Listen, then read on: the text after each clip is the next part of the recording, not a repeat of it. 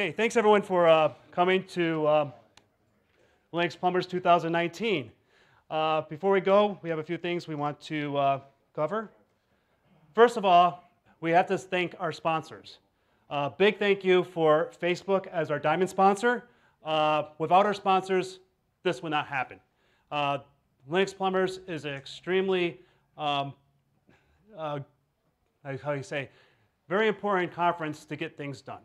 And a lot of corporations realize this. So thanks uh, Facebook, our platinum sponsors, Intel, Google, NetApp, uh, Gold, ARM, Dell EMC, Microsoft Azure, uh, Azure sorry, Western Digital. Um, silver is DigitalOcean, Netflix, uh, National Gnome, Oracle, uh, the Catchboxes, these guys, uh, Collabora, uh, Collabora, sorry, I'm horrible with uh, pronunciations. Uh, the lunch sponsored by IBM, t-shirts, VMware, and the evening events will be Google. So please just give a round of applause.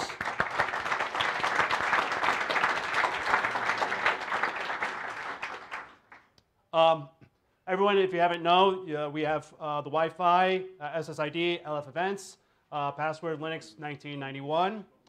Uh, we do have a code of conduct. We are very strict. We will be abiding by it. Uh, please read it. If you have any issues, look for someone with one of these green lanyards. Uh, we're the planning committee. Uh, come up to talk to us. Uh, we will uh, make sure it's handled properly. Um, schedule overview, Linux Conf event timetable. You go through, look for you. Just go to Linux Conf. You'll find a link for the schedule. Um, as you know, morning sessions start at uh, 10 o'clock. Lunch, if you've noticed there's no breakfast, that's because the conference hotel provides a really nice breakfast, so we tried to encourage uh, lunch. So it was either, our choice was we either have a breakfast and no lunch, but having the conference hotel have breakfast, we figured let's have a lunch. So lunch is provided down at the uh, restaurant downstairs from 1.30 to 3. Uh, evening events, uh, we have something tonight, which is a reception. It'll be uh, same place where lunch is at, from 7 to 9. Uh, Tuesday night, you're on your own. Uh, the second half of the micro conferences will be, um, on Tuesday night, will be extended conferences because there's no evening events. Uh, Wednesday night event after plenary, buses will start at 7.30. We'll talk more about that at the closing plenary session.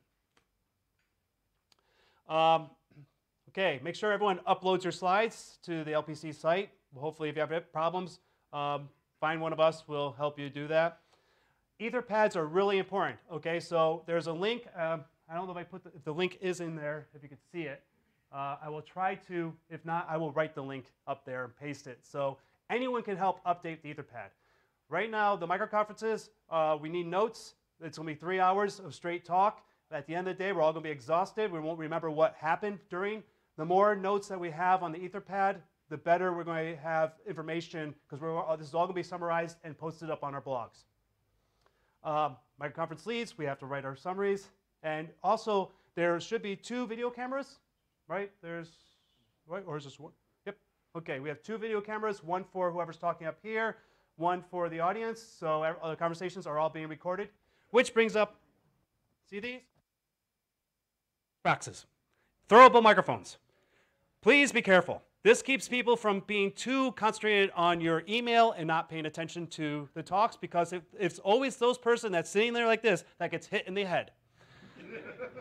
so you got to pay attention to what's going on in the room. Uh, we also have uh, ability to schedule BOFs. So if you have something that comes up you want to discuss something, talk to, go to the registration desk and schedule a room. Hopefully, it's first come, first serve uh, for doing that. And finally, if you have any questions, look for us with the green lanyards. And let's see, there's six minutes on there, so I'm going to uh, kill that and have you come up, and we'll start, and I'll give you six minutes extra. All right. Is this on? Oh, I have. Yep. I have yes. Okay. Get great. Two mic. Uh, all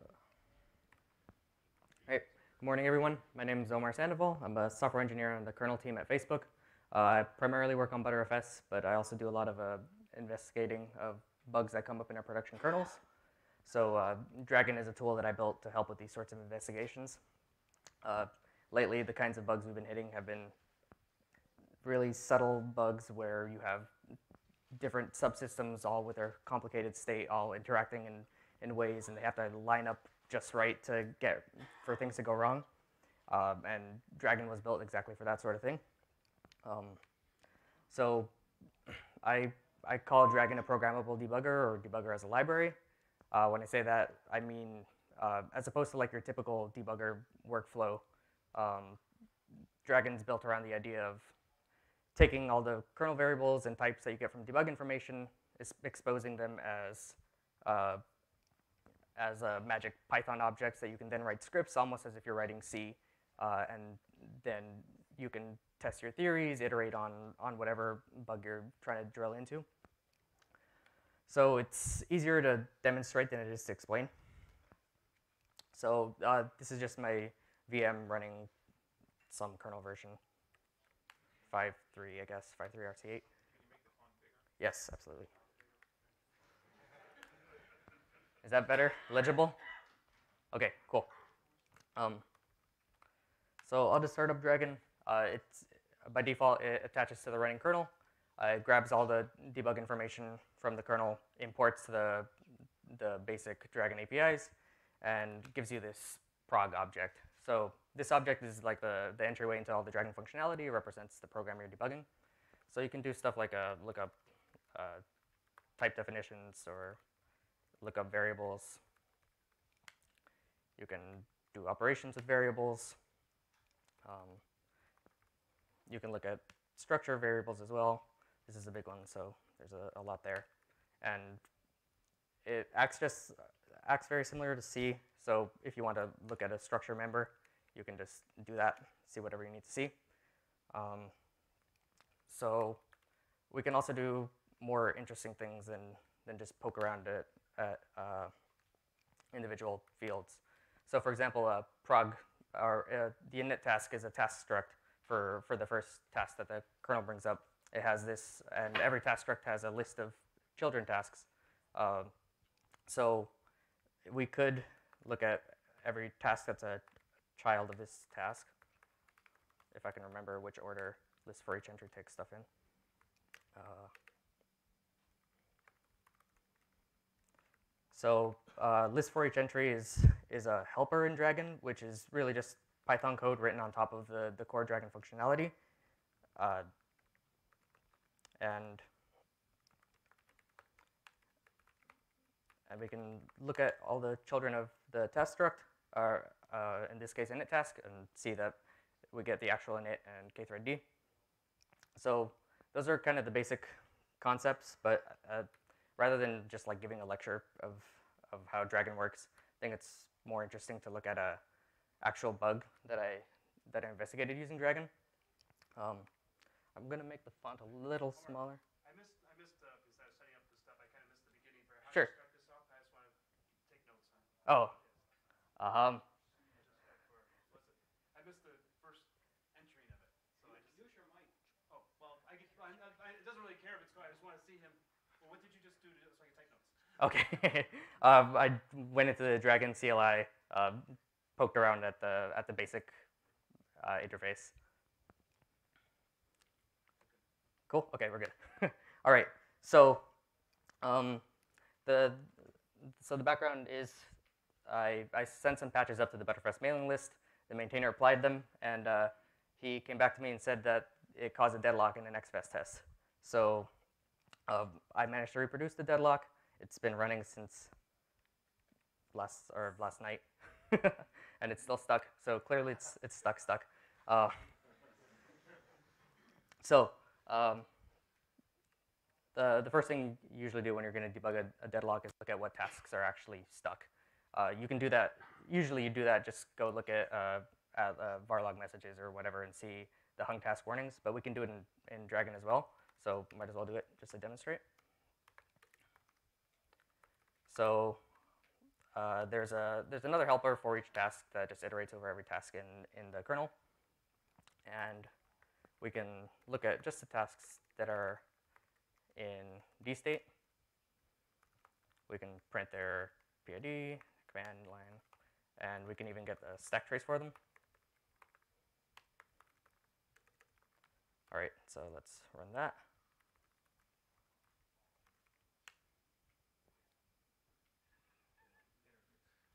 Hold up.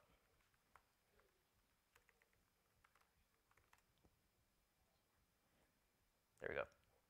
Okay, so we have a few tasks. Uh, two of them are are uh, work queue workers doing some Btrfs work. Uh, then the last one is a user, user space program, which is probably waiting on those workers to finish whatever they're doing. So uh, this one's task, or this one's PID 222. So let's let's take a closer look at that one. So we can just find it by PID. We have that task. Um, so uh, worker worker threads have their own state. Is this legible enough? Okay, cool. So uh, each worker thread has its it's a struct worker that's associated with it. So to get to it, we need to chase a bunch of pointers since I don't have a helper for it. So we can we can just basically copy over the C code as Python. So we can see that whoever wrote this abused this set child TID thing to, to shove the K thread into the task struct. So we can, we can just grab that out of here. So we have the worker task dot set child TID. And then the worker is the data field of that K thread as a struct worker.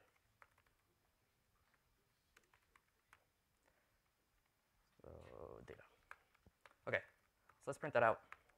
So this is this is basically just as like if you're writing C and you just didn't have the, the functionality available already.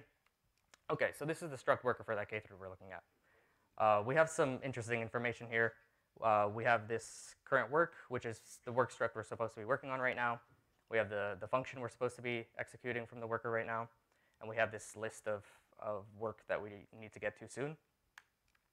So uh, just to, to get an idea of, of what things look like, we can find out how many, uh, how many things are scheduled.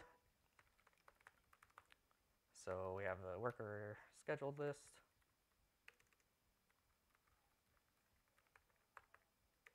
And hold on, counting parentheses. And let's also look at the the name of the symbol for that current func that we're executing.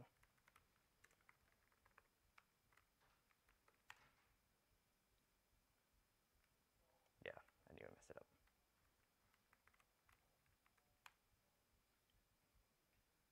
Okay, so we have one thing scheduled, and we're executing this Btrfs work helper. So uh, we can go back to the Btrfs code uh, to to look at what that is because it's not super informative because that's kind of our generic dispatch function in Btrfs that we use for all the async work that we have. But we can see that we have this uh, um, actual work struct that's that has the Btrfs specific information. So we can again kind of copy over the the definition there. So in this case, the Btrfs work is just a container of the current work in a struct Btrfs work with the name normal work. And that has a function as well. So let, us look at that. Hopefully it's more informative.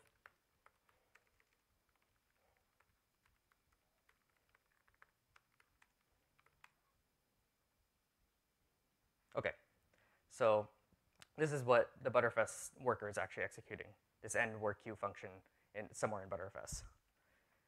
But if you were paying close enough attention, we can we can look at the the stack trace that we are looking at just now. So this stack trace says from Btrfs work helper, we're executing this Btrfs end dio bio, which is not the end work queue function. So that's a little funky. Uh, so usually when when there's like a sorry, do you have a question?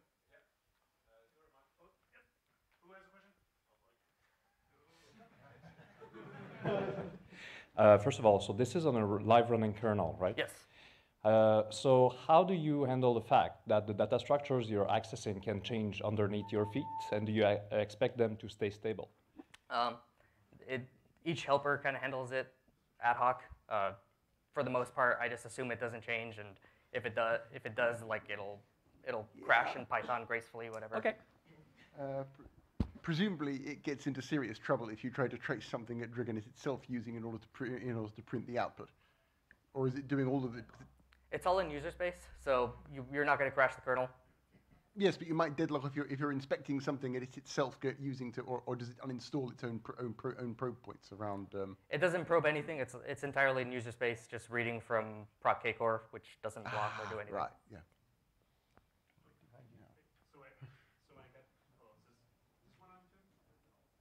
Um, so wait, so all you do is, is this just map like just basically mapping uh, the memory and? Uh, oh, it what's- reads from proc kcore. I would mmap it if it let me. Well, but- that's what I meant. But so, um, so you just basically, it's kind of like I said, it's a debugger that just uh, live running Yep. debugger. So if uh, core memory is not available, then this isn't. This is you only can get this if you have the that memory yeah. available. So you need proc kcore. You need debugging symbols.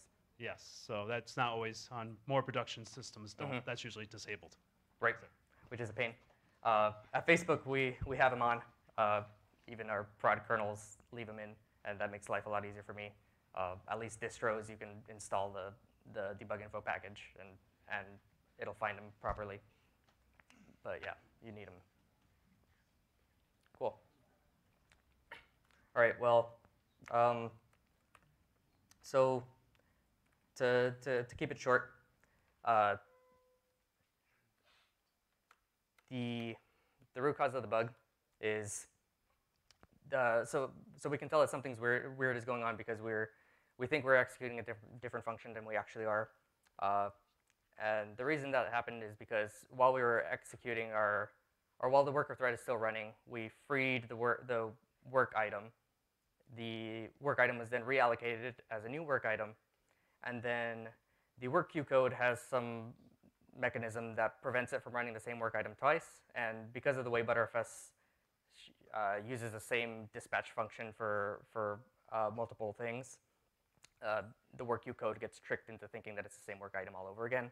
It waits for the other one to finish, and if you have a dependency on the one that that is waiting for the other one to finish, you end up with a deadlock. So, fun stuff. I don't know how I would have found it without like having a this introspection. This is okay. This first, just want to say yes. This is uh, this is actually nice to see. It's uh, cute little trick. But since this is plumbers, Mhm. and we're more talking about, is there? I'm just curious if you're coming up here now, like more of a instead of just demoing what you've done. Um, do you have issues, questions, things Yes. you would like to done? Yes. So Uh-huh. because I'm just want to let you know that you're more uh, you're just into the halfway Yep. point. Absolutely. Um, okay, so so the, the, the part that I was looking for for feedback or ideas on, uh, the the big thing that's been gnawing at me is uh, combining this with BPF tracing because uh, this this obviously has a lot of overlap in the terms of use cases that you you'd want to to use. Uh, drgn has the, the upside that you can run whatever arbitrary looping or or um, you know gathering state in whatever Python data structures you want to use. Uh, BPF you can catch things live. Uh, but kind of it'd be nice to have some way to unify that. Uh, like my crazy idea has been uh, throwing safety out the window and just having a BPF breakpoint. Like you you insert a BPF program in certain cases it hits a breakpoint that stops. Like uh, uh, who cares? Uh, then drgn or wh- whatever runs and uh, gets gets like the the pointers from BPF that says here start doing stuff here. Uh, and then drgn can go do its thing and then tell the kernel, okay, you, you can continue now. Um, I don't think we have that. I think we'd prevent that from eBPF Right. happening. yes, That's that's why it's my it's my crazy idea for for how to integrate it. Uh, I talked to Alexei about it, and because I think they he he's also been trying to think of ways to to improve debuggability of BPF programs themselves. So there's some overlap there. But um, I mean, if, if you're if you're inserting this breakpoint, you're kind of agreeing that like I don't, I might deadlock, I might do whatever. It's uh, so probably wouldn't be a prod system thing, but This seems a little similar to like uh, KGDB right. in a way. Except KGDB isn't the nicest interface. Right. So basically, different. It's a nicer interface for. So if you had something like KGDB, Mhm. Right. should be a microphone there. KGDB have a Python interface also, or not? Am I misremembering? Uh, I forget how it works. If, if you can hook up GDB to KGDB, and GDB does have its Python interface, but uh, it's a little clunkier.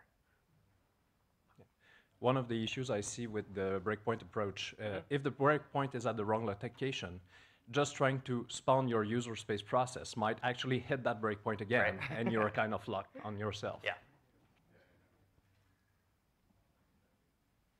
Yeah. Uh,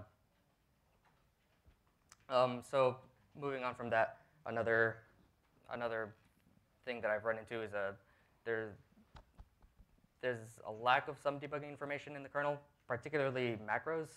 Uh, GD or GCC doesn't generate macro debug information by default, uh, so the kernel doesn't. Even when you have like a config debug info equals yes, uh, you don't get macro debug information, and a lot of stuff in the kernel that you really want to know, stuff like a page size or um, uh, like page table layouts, stuff like that, is in debug information or is in the is in macros. So I'm sure that'd be an easy patch, but I'm just curious if anyone else has run into that and, or if they've found different ways to work around it. Uh, has a, anyone that's worked on debugging tools worked around the lack of macros in some way?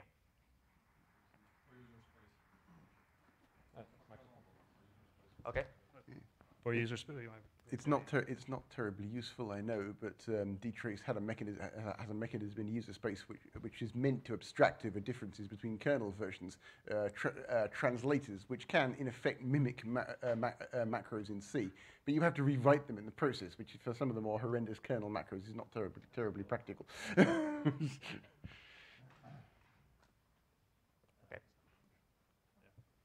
Cool. Um, Just one thing. Uh, so, so one thing is the size of the debug info that you need to take into account. So if you enable this uh, macro information as well, I mean, they're already huge, so Right. they're going to be even larger for, um, so I'm not sure how the dis- distributions will sit with that. I, I actually measured it um, for a Up, I, up. I measured it for a large distro kernel, and you've got about 9 gig of dwarf debug info. And if you turn on macro, macros, it goes up to about 40. This is not terribly practical, and it makes compilation take absolutely forever. so, um, one thing I've noticed about debug information is that we don't minimize it at all. At least distros don't seem to. Uh, so, for example, for the the BTF, uh, the dwarf to BTF stuff does does the all the uh, Andrii had his algorithm that uh, what's the word? Dedupe. There you go. It dedupes everything. Uh, we, it's possible to this, do the same thing for dwarf. I think just no one's ever Yes, put the have. effort into do it. Yes, we have. Oh, you did? And it's, pain, it's painful. It's and- much easier to go, to go from something like. Um, uh, there is a reason why most of the dwarf dedup stuff got ripped out of GCC. In GCC 8, it kept on crashing, and no one could no one could fix it.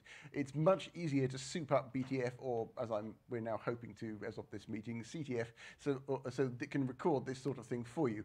Of course. Ma- macros and compactness are not terribly compatible, so it might be an interesting challenge. it's, uh, Yeah. Well, I- I'd imagine that it'd be possible to make macro information smaller because the, the header files in the kernel aren't 40 gigs. And that's kind of the upper bound on what you need to store, so. Or lower bound, sorry. Okay, looks like I'm out of time. No, you have two minutes. Oh, okay. I gave you six minutes extra. Oh, okay, cool. Um, so last thing I, I've, I've run into is uh, VM cores don't include the uh, VMalloc areas uh, as well as per CPU areas. Other other like specially mapped areas aren't in VM cores. So if you want to read from a VM core, you need to actually walk the page tables, uh, and that's been a pain. So uh, that's another thing I was wondering if anyone has worked around in any other way other than just uh, writing like a, there's this lib, libkdumpfile that knows how to walk the page tables, but it's because we don't have macro information, it's very kernel version sensitive. Have, have you looked at uh, the crash code? Or the, It, it's the same thing, it walks the page tables, yeah. which is a pain. yeah, it's fragile. So Now, if we had like a library that maybe that, that somehow, maybe that could help. yeah, well, the uh, libkdumpfile is is that it knows how to parse kdump file like a make fi- make dump files format, but it also knows the page tables. But again, like if you don't, if you upgrade kernels without upgrading make file, then good luck. okay. Well, these are all things that are kind of on my to-do list to to come up with better ways to do it. But you know, splitting time between this and Btrfs. Cool. All right. Thanks.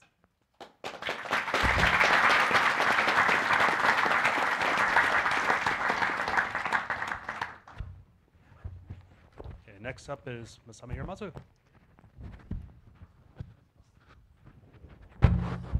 Oh. Oh, for the presentation? Oh, did you get it? Oh, for you. Oh, you want, oh, do you, do you want me to put it on mine, or do you want it? Oh, Oh, sorry. One more thing. There's a kernel debugging tool off later today. There's a kernel debugging tool BOF later today, just so. 3 p.m. 3 p.m. Um, do you want to just plug in yours, and see, see if it works? If there's a problem, then we'll probably plug it right back into yours, or mine. Well, I can't, mine's Etherpad right now.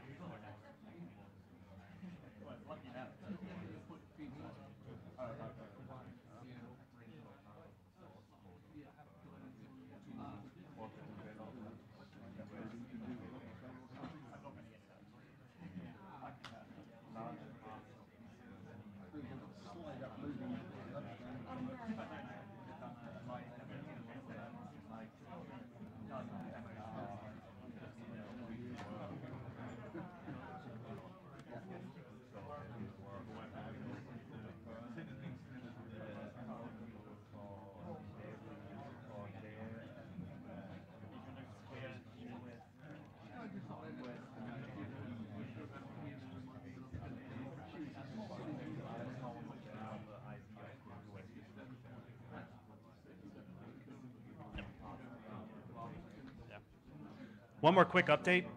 Um, when you guys do use, uh, we I love that everyone uses these uh, microphone when they talk, that way recording.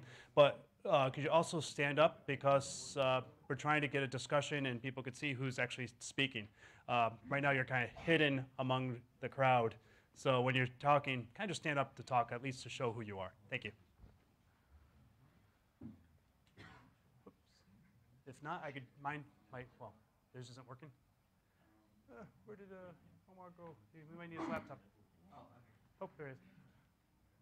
If it's not, if it takes more than two minutes, then we need to Okay. uh, try something. Because have, I, have two, I- I dedicated two minutes for transfer. No, not walking. Okay. Um, Uh, can I? I have a. Do you want, can you use yours? I, he has it right on this. Uh, zero two. And who's next on the list, just so I know who's? Oh yes. You're, you're, yeah. Yeah, so you might be using your, lap- you okay with your laptop being used for the next two talks? Yeah, that's fine.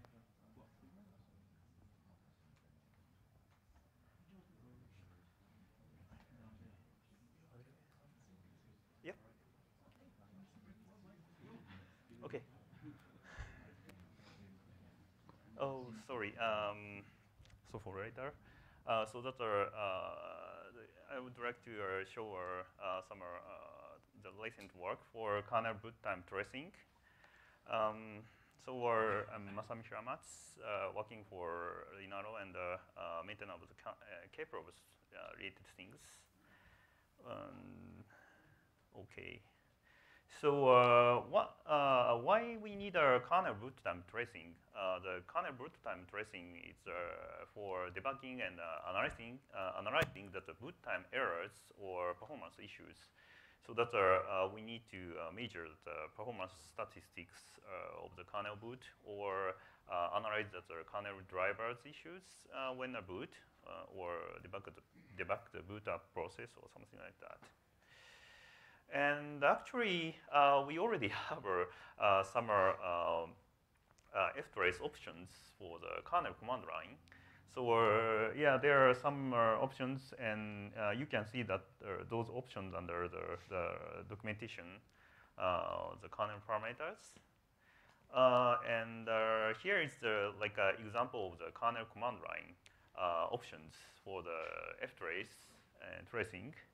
So you can see that the, uh, the long uh, kernel command line parameters for the tracing. Yeah, you can do that. But uh, what the issues on the current uh, implementation is a, it's a one, uh, the, there are major two uh, issues. One is the size limitation. Uh, because of the, the kernel command line size is very uh, limited under the 256 byte.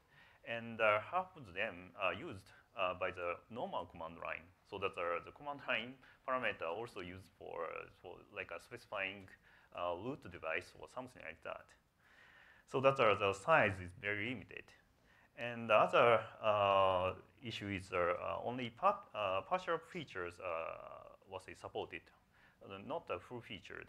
Like uh, uh, uh, already has uh, uh, two complex features like uh, uh, histograms or something like that, which is uh, not suited for single, uh, single line, let's say, command line uh, options.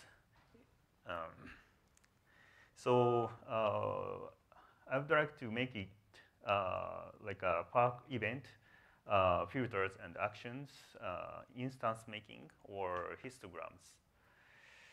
So uh, what the solutions? Uh, one is uh, uh, to use that uh, init lam fs, or I mean that uh, init uh, process. But uh, it's too late to uh, to initialize that tracing uh, when after uh, you know uh, running the init uh, process.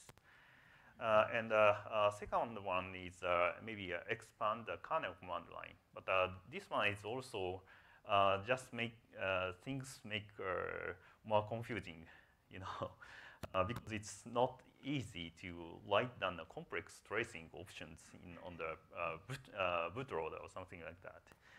And uh, another one is reuse the uh, current, uh, what's it, uh, uh, structured boot time data, like a device tree.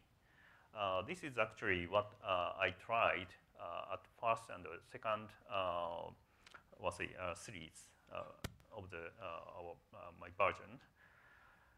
So uh, boot time trace uh, V1 uh, version one and version two is based on uh, actually uh, device tree. Uh, device tree uh, can is actually um, it's very well um, well what's it destruct, described and structured data, and it already passed when the kernel is boot. So that are uh, there are many good points, uh, stable and good for the user space tool, good user space tools, and well documented. And most of the bootloader already supported. Yeah, actually, uh, x86 uh, grub uh, doesn't support that. I just ma- uh, need to make a, a patch, but yeah, it's easy. And we talked with some uh, uh, device maintainers about this idea, and, but uh, they actually rejected uh, my idea because the uh, device tree is uh, standardized and, documented as a hardware uh, description, uh, not the software configuration or something like that. So that uh, uh, I need to check, uh, find that another way. And uh, uh, V3, I uh, introduced a new uh, supplemental uh, kernel command line. Uh, this is actually uh, what's a, uh, another device tree, but uh, uh, similar one. And uh, um, the, so that uh, I introduced a new kernel command line extension. Uh, it is actually the plain ASCII text, so that's not the, the binary data, just a plain data, text data, which are written as a tree structured key value list, so that uh, you can uh, write the key value as a keyword equal uh, value, and also you can write down uh, uh, the trees. Uh, those are uh, words concatenated with the period. So uh, this is written as a file, a text file, and bootloader can load it when uh, uh, kernel boot. And uh, uh, so that the, the kernel will pass, uh, parse the, uh, this file at, at the early stage. So I would like to make a demo, but yeah, the, with the trouble I cannot do that. But yeah, it's yeah, I have a backup slide for what happened. So that's a uh, so uh, SKC uh, uh, supplemental kernel command line based uh, boot time tracing is based on uh, like that. Yeah, you can find like the, the F trace, brace, and options. These options actually we already have uh, on the kernel command line. It's the same mechanism. And also you can uh, expand that the, the, uh, the tree with the events, uh, event and kprobes, uh, VFS read or something like that. Uh, yeah, you can uh, write down, uh, uh, define that a new K-probes event with a, uh, yeah, actually this one is a very human readable uh, parameters with uh, filters or uh, something like that.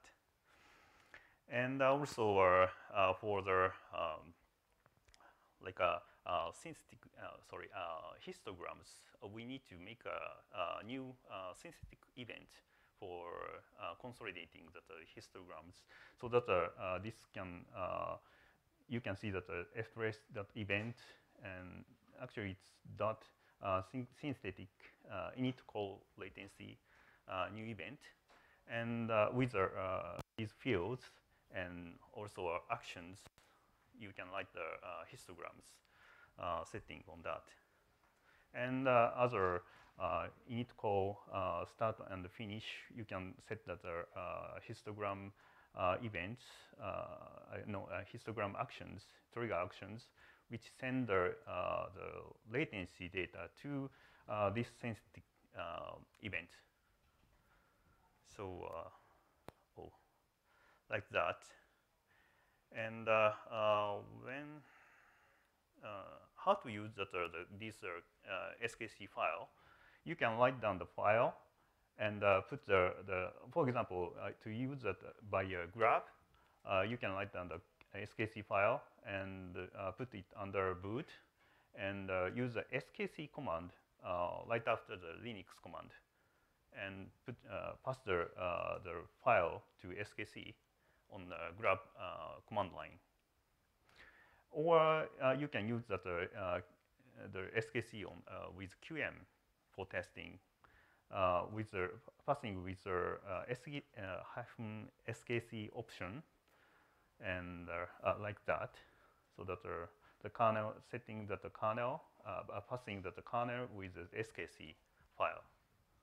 So that the, the QEMU uh, load that the QEMU and grub load the uh, SKC file on the memory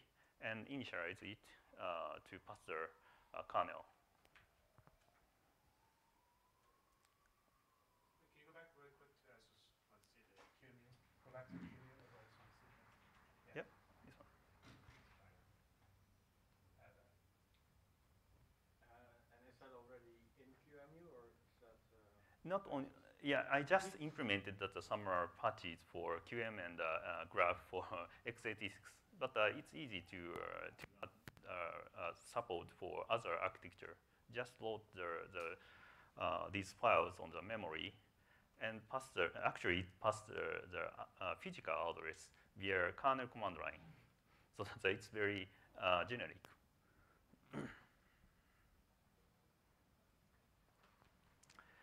So that is the so the, here is the current status of the uh, my work. Uh, what's done is uh, make a RFC patch uh, with SKC and also QEMU and Grub implementation made on my repositories. So you can download it and test it. However, I just get uh, one, uh, you know, uh, response from the, for this series, so that I, I need uh, your response or reply or any uh, comments on that. And uh, I think that we have a, we need to make some more, um, uh, say, uh, uh, more things to done. one is the actions syntax expansion for the, for the histogram, the, because the current histogram uh, options to load and uh, have a different syntax. So that's uh, it's uh, not easy to write down. And uh, also the initialize tracing area. The boot time tracing is currently initialized in a boot, let's say fs init call. And uh, also we, we need uh, user space tools for writing that SKC file and uh, like uh, uh, evaluating this is light or not. And of course, we need uh, to uh, discuss with uh, other uh, person. Uh, I'm not sure who is uh, the correct person to talk, but uh, SKC and uh, how we can, uh, uh, you know, good, yeah. I'm curious, have you considered uh, integrating this with the kernel build? So optionally, you could point uh, the kernel build to a set of SKC file. They get pulled into the kernel image. And then in, on the command line, you refer to the SKC profiles you want actually loaded for the specific boot. It might uh, easy, uh, make uh, the integration much easier since you just have to integrate within the Linux kernel without having to modify QEMU or grub. Yeah, that is another option, I think. Uh, yeah, I think that uh, that is uh, uh, we we can um, yeah uh, expand that uh, SKC file, uh, you know, uh, boot uh, load when boot or load when uh, compile. But Yeah, I mean, you could also, yeah, kind of like similar to that, you could also do the uh, kind of like kdump, kexec, kdump loads the kernel in there. So you could just say, here's the path, so it knows the boot directory, like where it would load init RAM disk.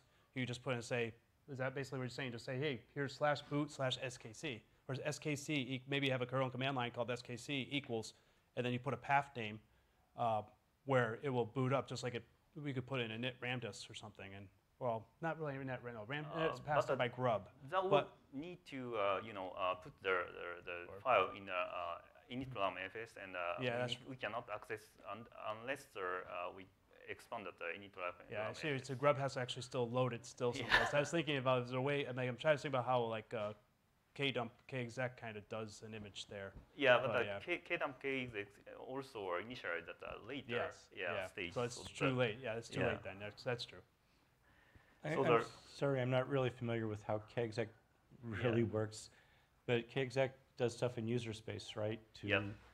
So doesn't KEXEC have the ability to actually access a file in the running system and incorporate it then into the new boot with KEXEC? Is that plausible or not? Yeah, I think. I hadn't even thought about that before when we were talking. Yeah, it, yeah, but uh, in that case, we need to uh, you know uh, dual stage boot. Yeah. Yeah, yeah, it'd be a two-stage boot to do that. Yeah. So basically, you're saying like boot up in one kernel, then trigger another, and loads everything for you, then trigger another kernel, and you know where the memory is. It's like, Exactly. okay. Yeah. That's. Yeah. I don't know if people would want that though. Uh, so that, technically, you could you could extend the initRD mechanism for that, like just making an initRD a two-part thing with your SKC like appended Yep. to the original, right?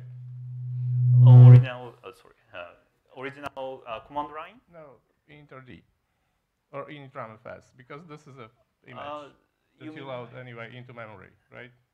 Yeah, so you mean that the, the uh, add the, uh, the file on the, uh, yeah, like a tail of the uh, initramfs file? Yeah, so append your SKC part to the rest of the initramfs file, and then you have a single image, and then Yeah. you uh, you only need an offset into that Yeah, to also, access your SKC. it also stuff. can, uh, yeah, it's possible. Yeah, but uh, I think that uh, that will, yeah, uh, we need to, uh, if we can, uh, uh, uh, we would like to change the, uh, the trace command, uh, tracing uh, script. Uh, we need to prepare that uh, several different kernel image or uh, initramfs images that will consume Well, the you, too you only need one, and then have uh, multiple sections at the end. Yeah, uh, like basically you have it, just you concatenate the two, Yep. and then you, I mean, actually you can even keep it two separate files, but you just concatenate it to a third file that this is what's going to get loaded into uh, yeah. the boot time.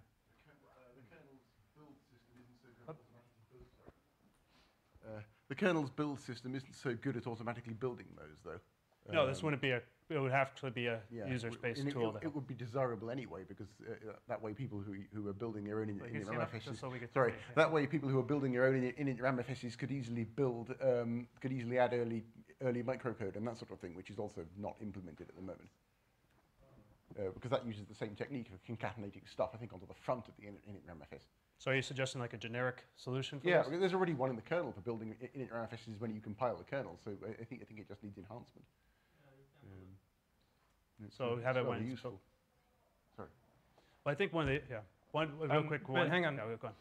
This is boot time tracing. Yep. So you said init RAMFS is already too late. Yeah, to rate. Like we've already booted. yeah. No, no, but the init RAMFS is is loaded into memory. No, that's that's late. Was it? That's still too late. Where it's That's in way loaded? too late.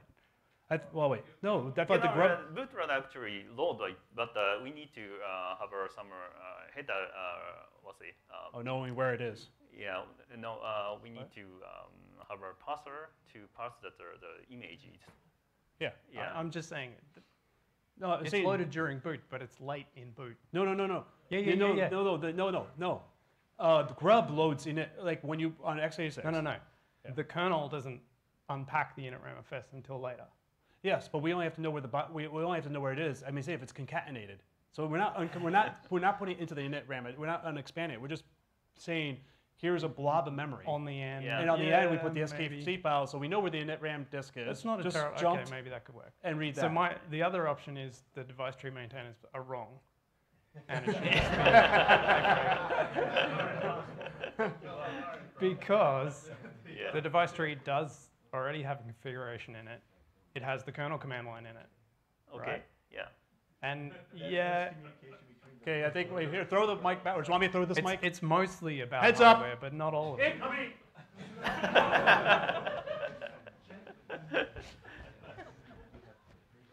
Yeah, the, one of the big problems with putting um, extra configuration stuff into the DT is stuff like kexec, especially with kexec file load, where you have to go and sanitize the chosen node. And we really want to keep most of that idempotent, other than the command line, which, uh, which is called bootargs, that we change all the time. We want to keep some other stuff like uh, the uh, stdout path, but we don't want to mess around, with, and we want to clean. We have to clean some other things like the initRD properties, uh, we've got this mismatch of things that we've got to keep and things that we've got to remove, and I really don't want to have to change that code in the kexec file load path every kernel release when we add a new thing that we might want to keep or we might want to remove. So having this in the command line is nice because that's something that is transient from boot to boot already. Yeah. So that, that is a really nice feature of Except kexec already copies it, or you know. kexec file load does not copy the command line. It uses the command line it is handed from user space.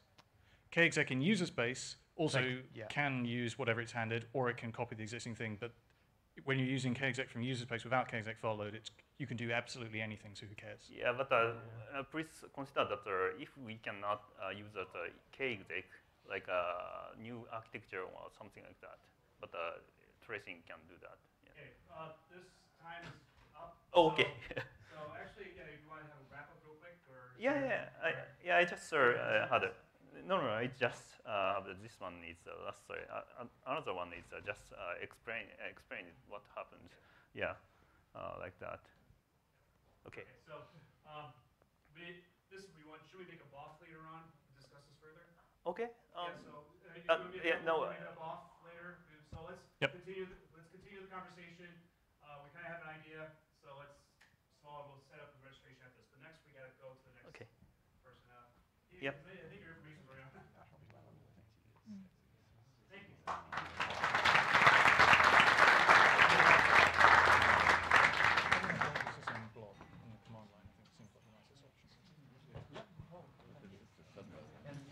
I'm gonna give someone a bomb. Frank is the owner. Oh, I thought you were the center of the passing universe. I really don't want to get in the habit. I think the core has got its center of gravity's got to be somewhere right here between us.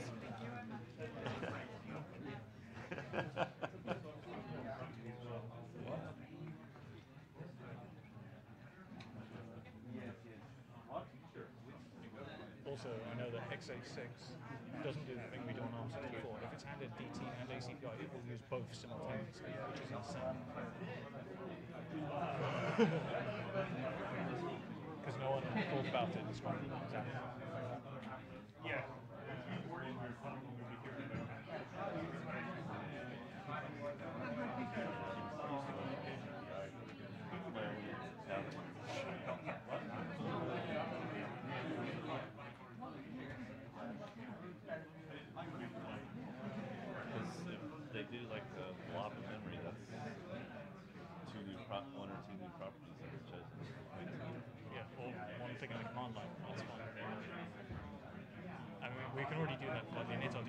You can have an initRD start and initRD end in the chosen node, or you can have it in the command line.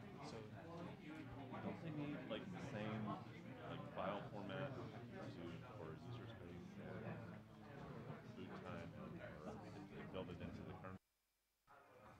So I need you to say your full name.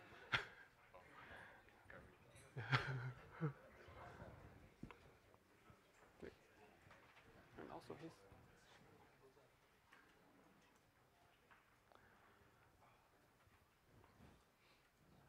So uh, good morning, everyone. Great, this works. So my name is Song Liu, and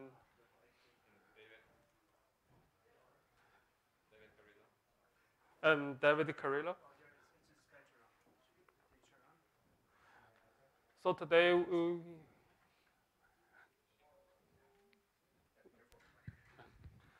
so today we want to talk about uh, share PMU counters across a compatible perf event.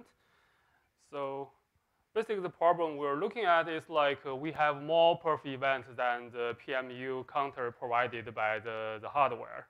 So basically in some environment uh, like uh, our company Facebook, we have different tools. They all counting the same thing, like cycles, instructions, but they have different scope or sometimes different tools counting at the same scope. We, we, we cannot uh, like really limit them. And they do per CPU events, there will be per task event, and it could be C group per C group events. And sometimes you have nested C group, you count every, every layer, you have different counters. So they all count the same thing, but they are separate perf event. So when we have like more perf events, then we have the counters, we're going to do the time multiplexing, which is through this perf rotate context function. So here's a very like easy example I, I always play with. We use the, it's x86, we use the ref cycles uh, events, which we, there's only one counter can serve it. So if you do that twice, easily you get uh, like uh, multiplexing. So one event get uh, scheduled three thirds of uh, three fourths of the time, the other get one fourth of the time. That's not a bug. It's by design. There's no guarantee you get equal amount of time, but you basically the rotation make sure you get uh, some time to run. This is a problem. Like first, like uh, the time multiplexing is very expensive it kind of force like a reschedule of your perf event every millisecond by define uh, by default, and also like it's not uh, accurate when you do this multiplexing and when you do like a context switch. If that happens too much, you probably didn't get much time to run. You do the uh, you're already off the CPU.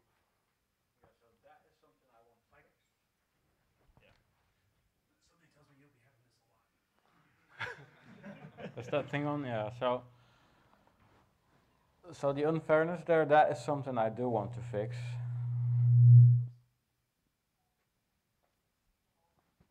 Scary little thing. Um, it's just that it's a lot of work. We need to rewrite most of how all that course scheduling works. Um, a year or two ago, I posted. Oh, what was it? A year and a half? I don't know. I re- posted some start of that rewrite. I just haven't had time afterwards to look at it ever again. Um, but it's it's doable. Uh, fixing that fairness. But in this case, we reduce the need to reduce the unfairness. No, I mean, It's like different problems, I think. yeah, but you, you brought up. So um, I'm saying this is fixable. Yep. So let's do. next. So what do we do we with the share uh, PMU? So if we think multiple perf events that are compatible. So technically, they can share one hardware counter. And for here, I have a very conservative definition of compatible. I mean, they count exactly the same thing. And I think in the future, we can extend that uh, to have a sample uh, event and a counting event share the, uh, the hardware counter is totally possible. But for, for now, I think uh, just the share for only the counting ones will be a big win already. So what's the benefit? The first is going to be like uh, we're going to avoid or at, least reduce the time multiplexing. So instead, so if we go back to this example, these two going to share the same counter. There won't be any time, like uh, timing multiplexing at all.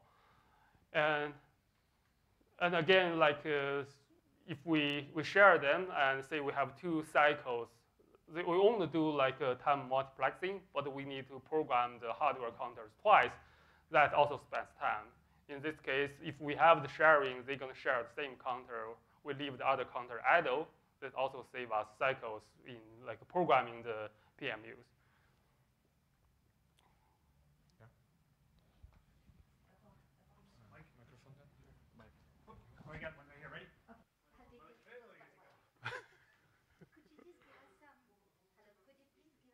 examples of these?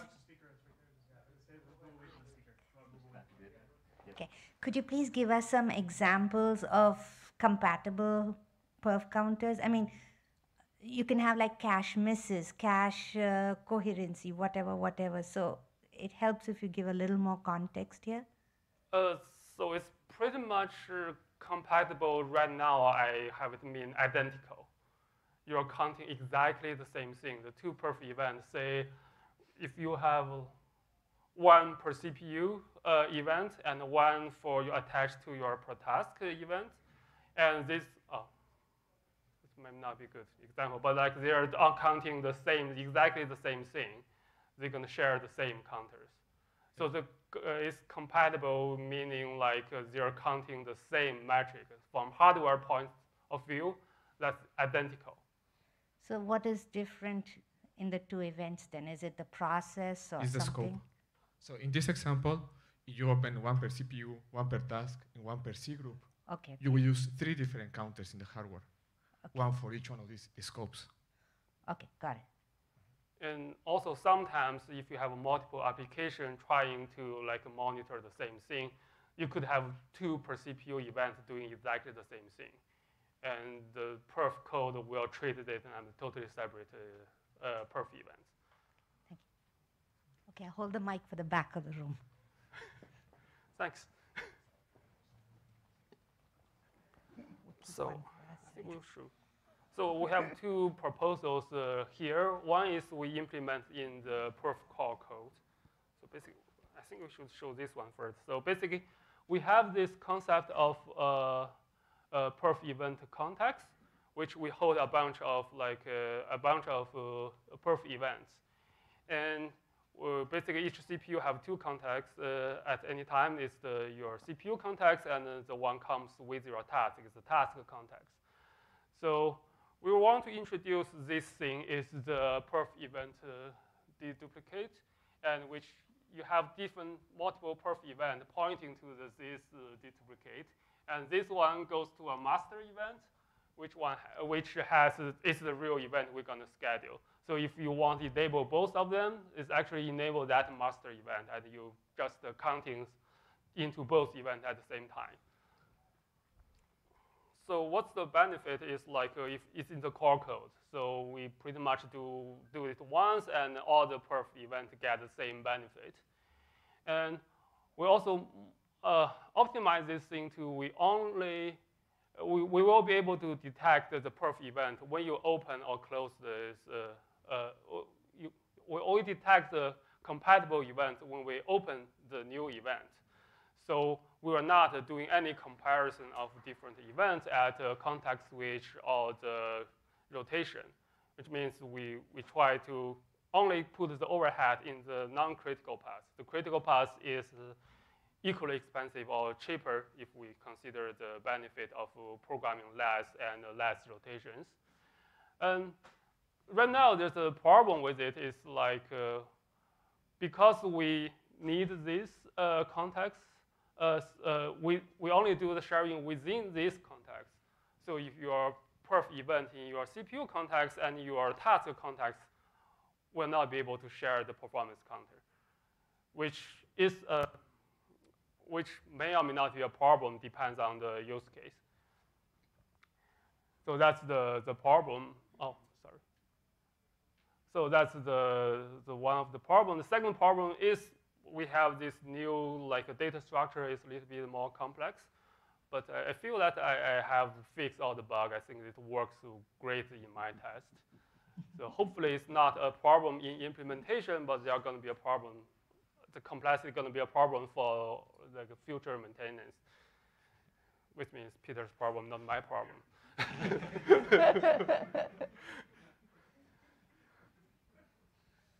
so the other proposal is uh, like a while back, uh, GV Arthur proposed, and also David uh, echoes that uh, uh, proposal. Is like we just do that in the for each architecture or for each PMU in that code, and we have this this the benefit and the pros and cons just reverse.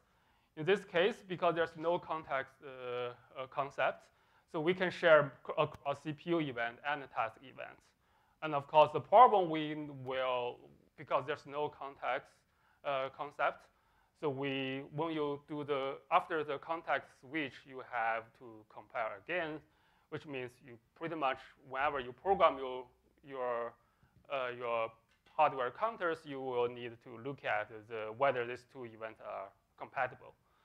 So it looks like something when you do the PMU add, you try, oh, I have this event. And whether it's compatible, if it's compatible, we set up the compatible events. Otherwise, we do the, we do the existing code to find a new hardware counter for it. So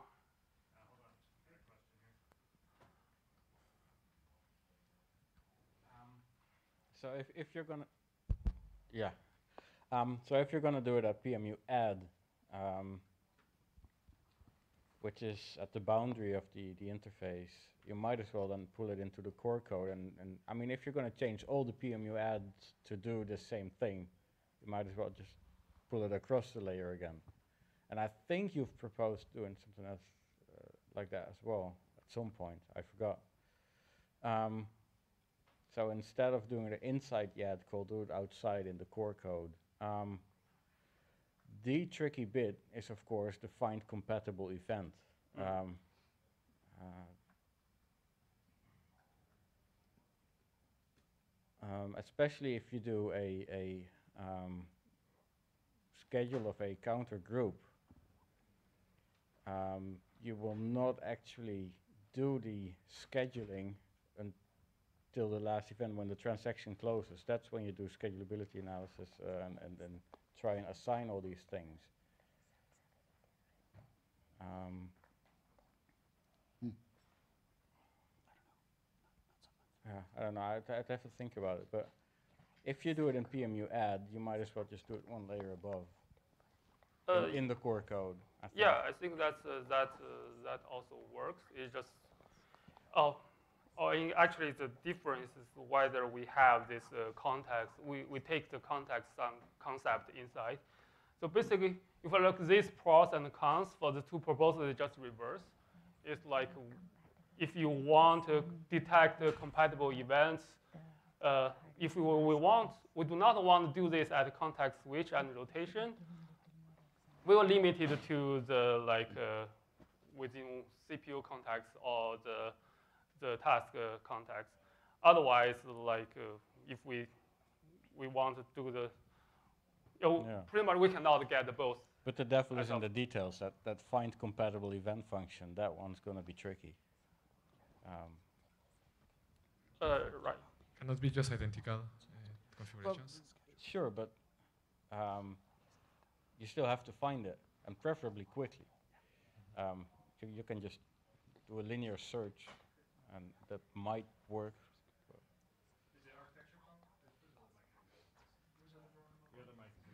Yeah, the other. No, it, it's just a, a performance thing mostly. Um, Well, how, how to not spend too much time on, on trying to figure out who shares what. A- And that's why Song's proposal number one isn't at context switch time, it's at load event time, Correct. Yeah. or So event that's- open. But, but yeah, then the, the downside is you do not share between um, CPU counters and task counters. So there was another proposal a few weeks ago, maybe, that tagged all events with a C group ID.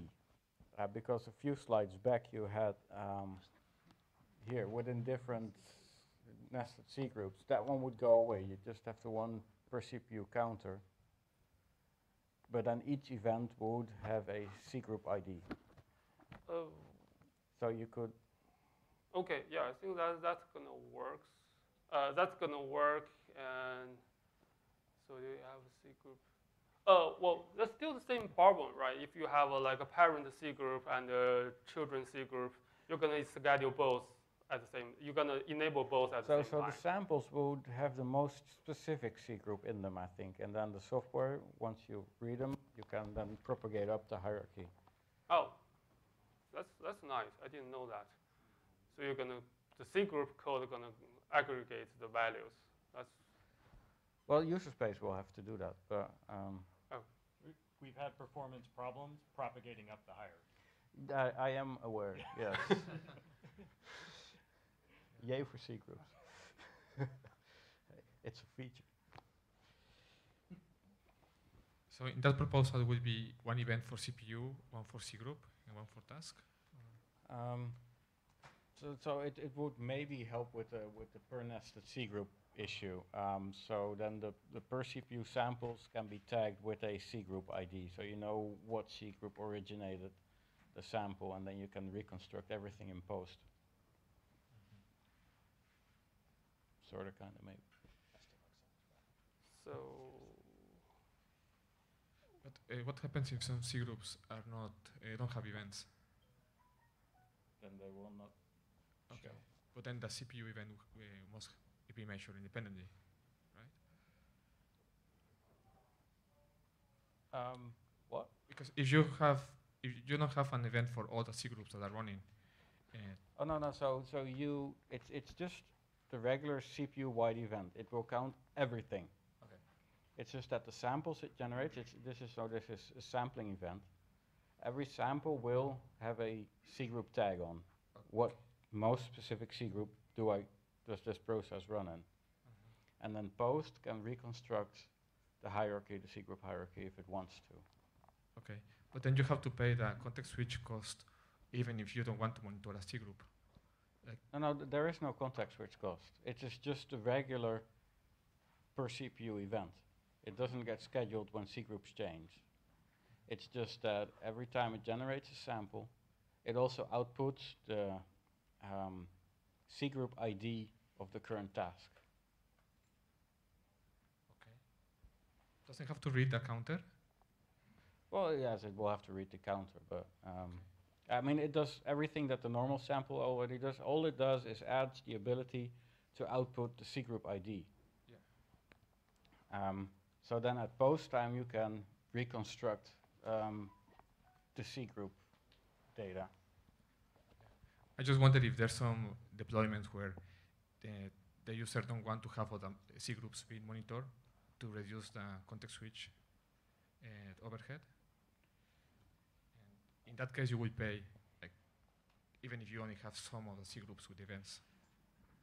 So, so there is also patches that um, make scheduling many of the C group counters cheaper, uh, but that's that's a, a different thing.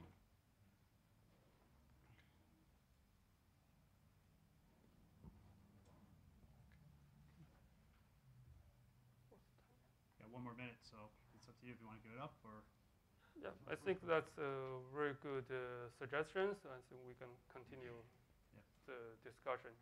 Peter, I might probably pick your brain later about the ad board notes. Sure. Okay, thank you.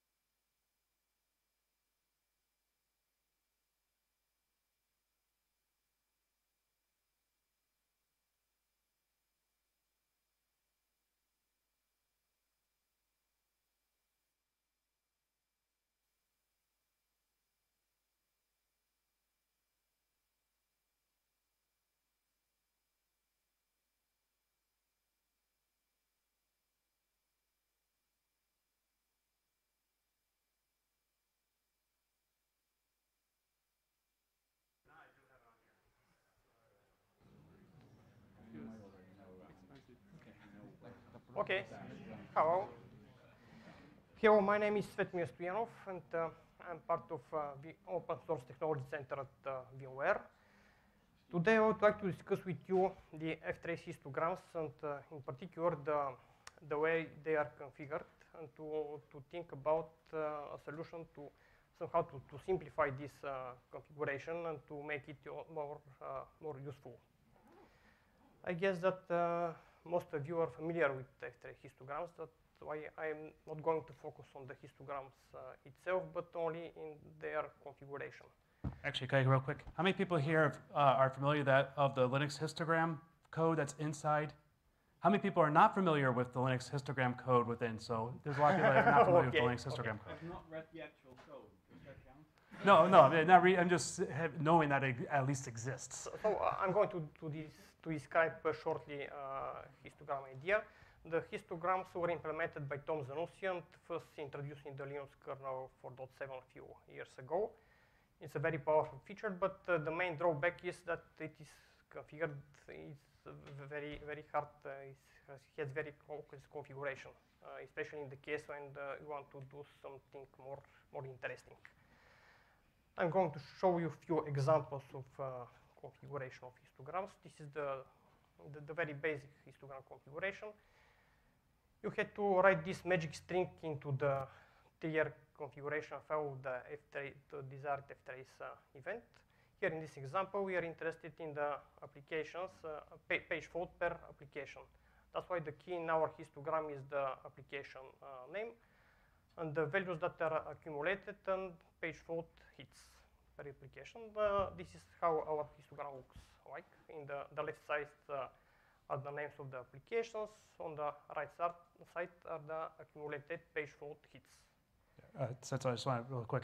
Uh, just to let you know, if in that very first line there, it's assumed that you're already in the in the tracefs directory, so slash sys slash kernel slash tracing or debug slash station. Yeah, Okay. I, I got it Yeah. because the, the command one is uh, too big. Yeah. This is the basic example. Uh, the, the more interesting thing is uh, when you want to to measure the latency between two uh, two ftrace events. In this example, the first event is uh, sysenter send message, and the, second one is sysexit uh, send message. And in order to do that, uh, we need to configure the so-called synthetic event, which is called send latency here, and to accumulate the histogram in the context of this synthetic event. How this uh, configuration looks like, it's uh, complex. First, we need to define the synthetic event by uh, defining its name, send latency, and its parameters, uh, what and uh, PID. Then we have to, to define a trigger in the, the first event, this en enter send message. And in that uh, trigger, we are uh, we have to save the timestamp timestamp of this event in the into the var variable ts0. Then the third one is the most interested one. We have to define the the histogram into the uh, into the trigger file of the sysexit send message, the second event. And on this uh, on this histogram, we are interested on match between both events, sysenter send uh, message and sysexit send message. Uh, the match means that uh, uh, the keys of the both histograms must be equal. So the co command PID of the first event uh, should be equal to the command PID of the second event, and in this case we have a match. In case of a match, we trigger the sent latency synthetic event with the desired parameters, late and command PID. And here the, the late variable is calculated uh, by subtracting the both timestamps of the both events. And the last one is uh, the configuration of the histograms itself that we are interested in. It is in the context of the sent latency synthetic events, previously defined synthetic events. And this is how our histograms histogram looks like in this case. The output is in the first one. The, the third example is the even more complex. Uh, note that uh, we are not limited to, to measure latency between only two events. We can measure latency between multiple events. The, uh, the only limitation is that uh, we have to the, the both events that uh, we are matching uh, must have some common fields that, that are matchable. Um, but in example, if there is uh, no common field between uh, two events, but we still want to, to measure the latency between them, we can do it using these artificial synthetic events. In this example, we're going to, to measure the latency between HR timer start event and the get switch event. There is no com common fuse between them mm, that uh, we can use for matching. That's why we, we have to define the IQ, latency synthetic event uh, to, to accumulate uh, the histogram in that uh, event between HR timer start and sched waking.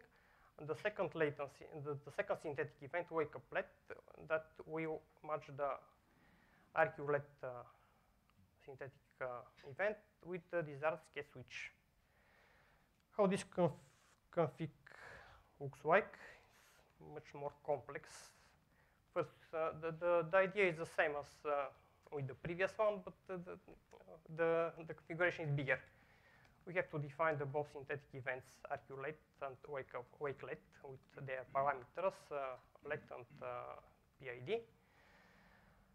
And after that, we define the histograms in the HR timer, set, set wake, waking, calculators in the all events that are interested.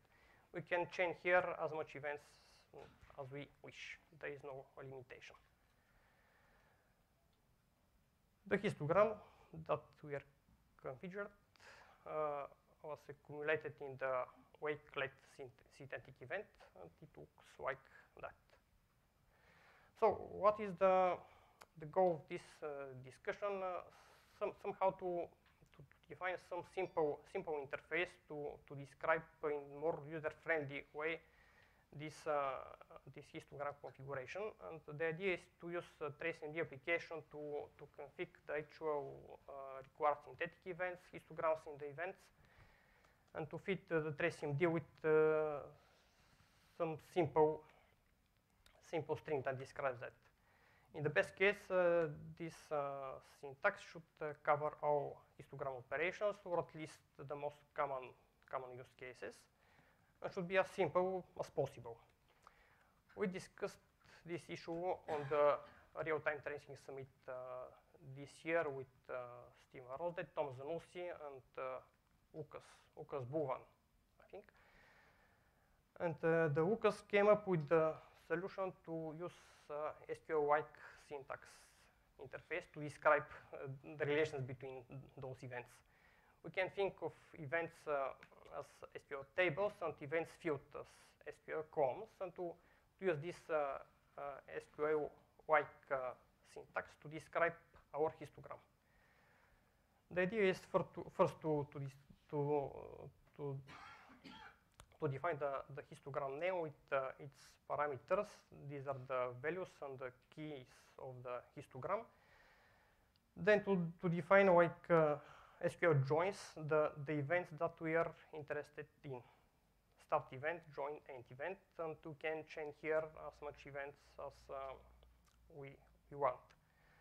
And then to, to define what are the matching fields between this event in order to, to have a match between them start event field must be equal to the end event field. And optionally, uh, we can define any conditions if there are such conditions. So uh, how this uh, syntax maps to the examples uh, before uh, above. Here is the, the, the latency between two events. Um,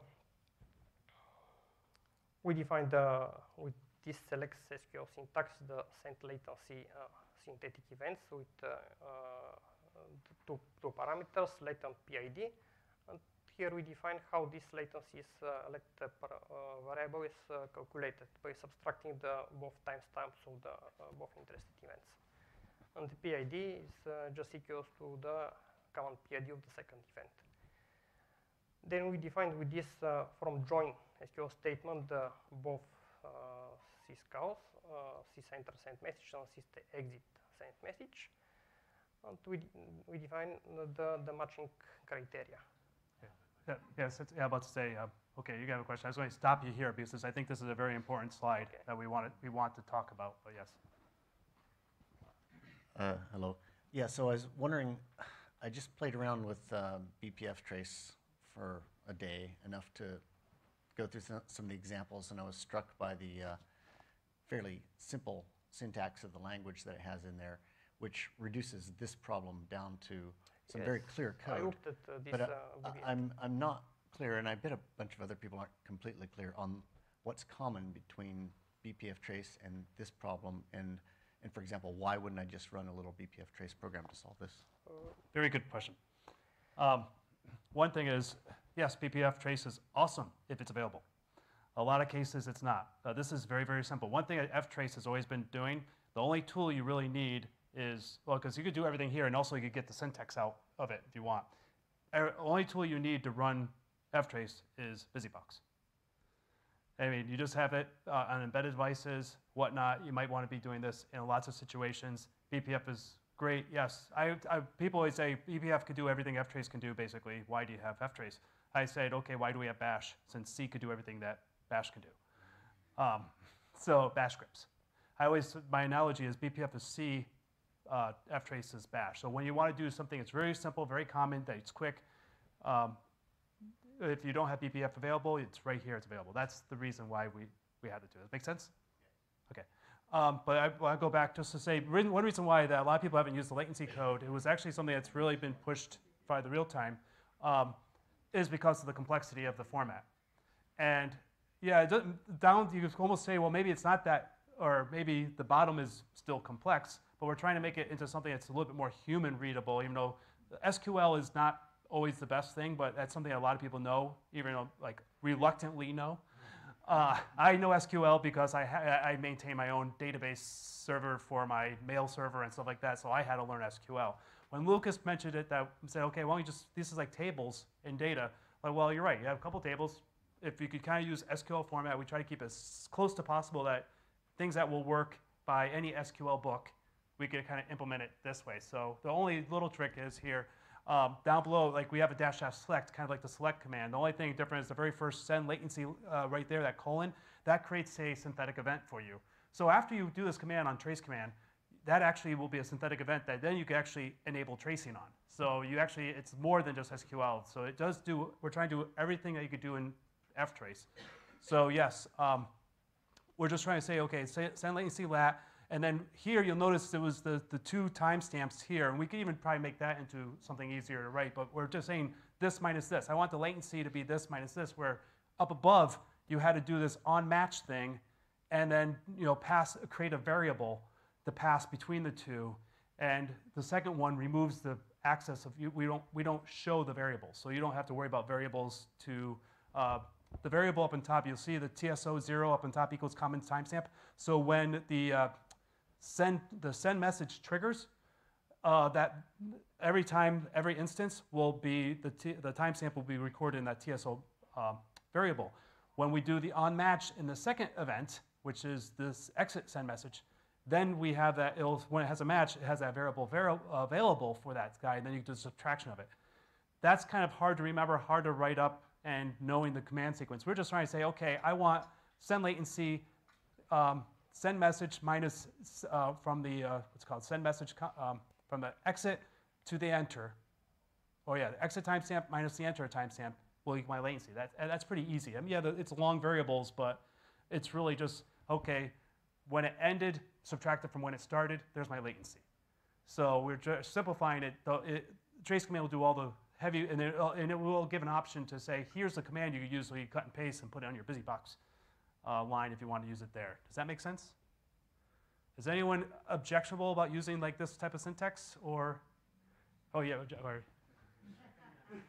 So, so kind of going back to what was said earlier, why not a syntax? Uh, you said bpftrace isn't everywhere, but what about a syntax that is like bpftrace, so that you have a common type of scripting language?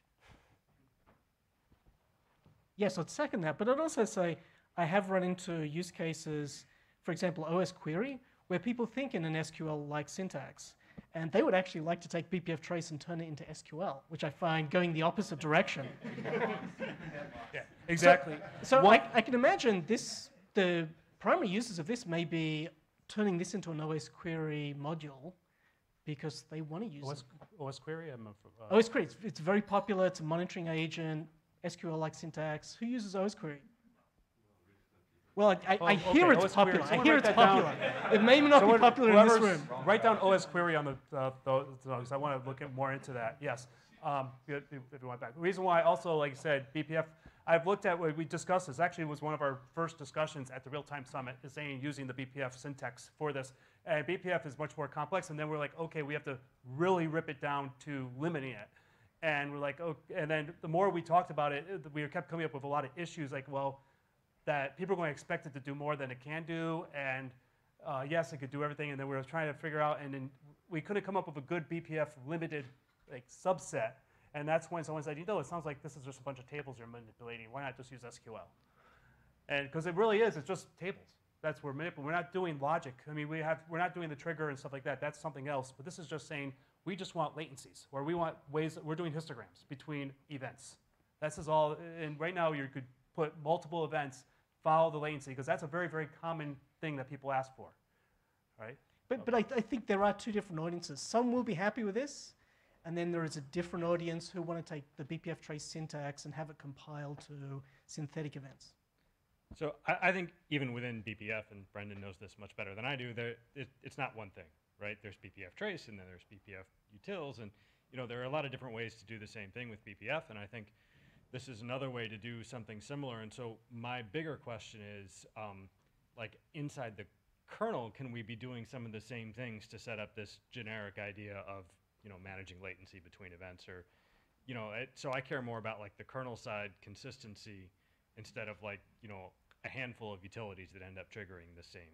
Actually, this proposal is only in the user space. Uh, it uses uh, the, the existing uh, the existing histogram configuration interface. It's only a wrapper. Yep. So uh, I have a yeah. I think this uh, this one is a very good uh, syntax and yeah, a bit, but a bit uh, you know uh, the the information is what's say it's a bit long. Uh, yeah, Actually, uh, we, because we, we try to, to make it as short as possible, but uh, we have somehow to describe uh, all yeah, these but the- relations. So. we can see that the many sys exit se- uh, send message. Yeah, are, yeah, many uh, you know one of them. Ma- are- many duplicate information, you mean? yeah. I need the mic on.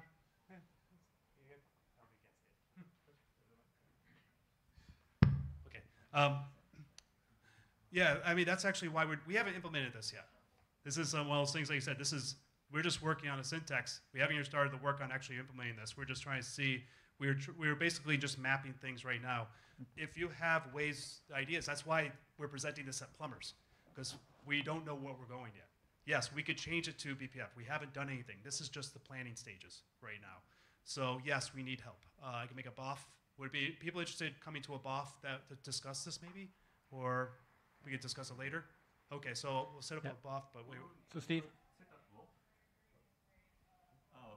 We will make uh, make a BOF about the, the tracing. If there's a room available. Okay.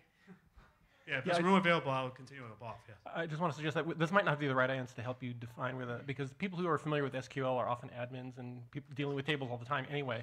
I am not such a person. Uh, when I, I go look at Brendan Gregg's pages when I need to do perf stuff, right, and stuff like that. So I don't, I don't memorize all these things, and I don't memorize SQL syntax, and I don't have a preference for it particularly.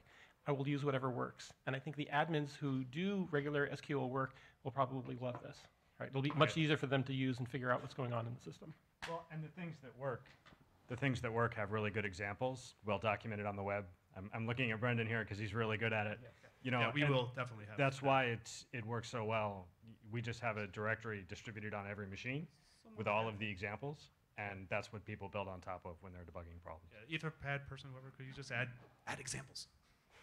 Yeah, I, I uh, sorry, I, I wanted to add one thing to that, which is that I, I'm coming in as, as a, like a bpftrace somewhat newbie, so I spent, you know, half a day learning it.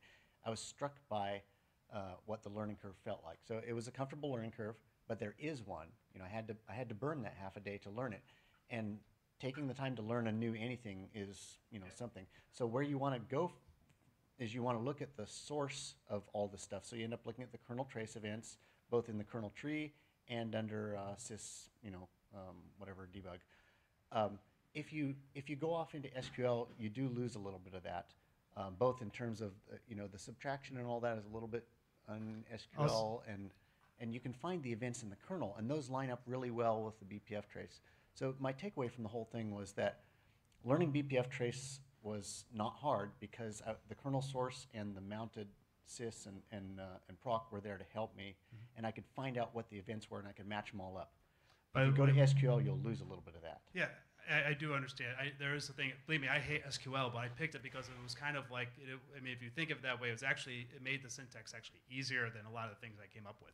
Uh, real quick, you want to switch to the next couple slides? I think the one you had. I think this, the, the was right. You had the uh, the more complex version. Yeah, this is the more. This was the the example that does that one complex, real complex one. This is actually you'd be two select statements. This would be all in one line, obviously. So I was just giving you an idea of this. Well, uh, uh, basically we have to go to the break now. So um, we end this. So I wanted to basically let's have a discussion with this, and we'll come up with my board. Like I said, this is more of a design stage. We could get it if it works. If we can find a better way, we're all we're right now very open-minded. So uh, thank you very much. Well, I'll hopefully post it, and it's break time.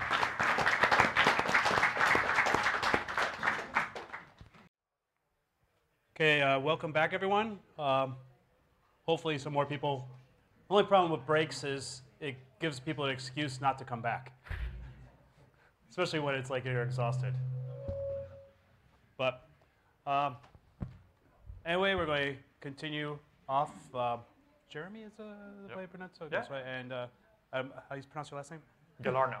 Galarneau? Yeah. Okay, so Jeremy Galarneau will be now talking about unifying tracing processing ecosystems with Babel Trace or something like that. but I'll be going work with them afterwards. So Okay, so uh, thank you, Stephen. Uh, actually, Stephen and I are going to speak about the same thing, which is uh, unifying trace processing ecosystems. Uh, you may notice that I'm not wearing any body armor, uh, so I'm not trying to unify tracers. Okay, don't want to get into that. No ring buffers. No, no, no, unify, no, no discussion of uh, unification of uh, ring buffers is going to happen, uh, at least while I'm in front. so um, basically, the, the, what we're trying to achieve is, uh, is that there's a situation right now where there are a lot of tools that are uh, trace processing tools that are targeted for um, uh, specific tracers, and there's no reason for that. I mean, typically it's only because they all output their own output formats, and I mean, all tracers have their own uh, use cases, but at the end of the day, they all extract pretty much the same information. So there's no technical reason uh, for, uh, for tools not to reuse the same uh, trace reading code, trace uh, processing code, if you want to filter, all that, all that stuff can be reused. Uh, and this is what Babel Trace tries to achieve. Uh, Babel Trace already exists. What I'm going to present is basically what we're introducing in Babel Trace 2, uh, just to give a bit of context before we go into the open discussion. So Babel Trace, the goal is to consume, manipulate, and convert traces of various formats. So it's tracer agnostic for all intents and purposes. The goal, um, when I say trace manipulation, it's basically filtering, uh, removing fields, changing field values, adding debug information, those kind of things in traces. Um, and we want to basically aggregate and correlate kernel traces, user space traces, logs, uh, could be PCAP traces, hardware traces. Um, it's already used in the kernel tree uh, for the perf to CTF converter. Uh, so that's already out there. Um, and Babel Trace is cross-platform.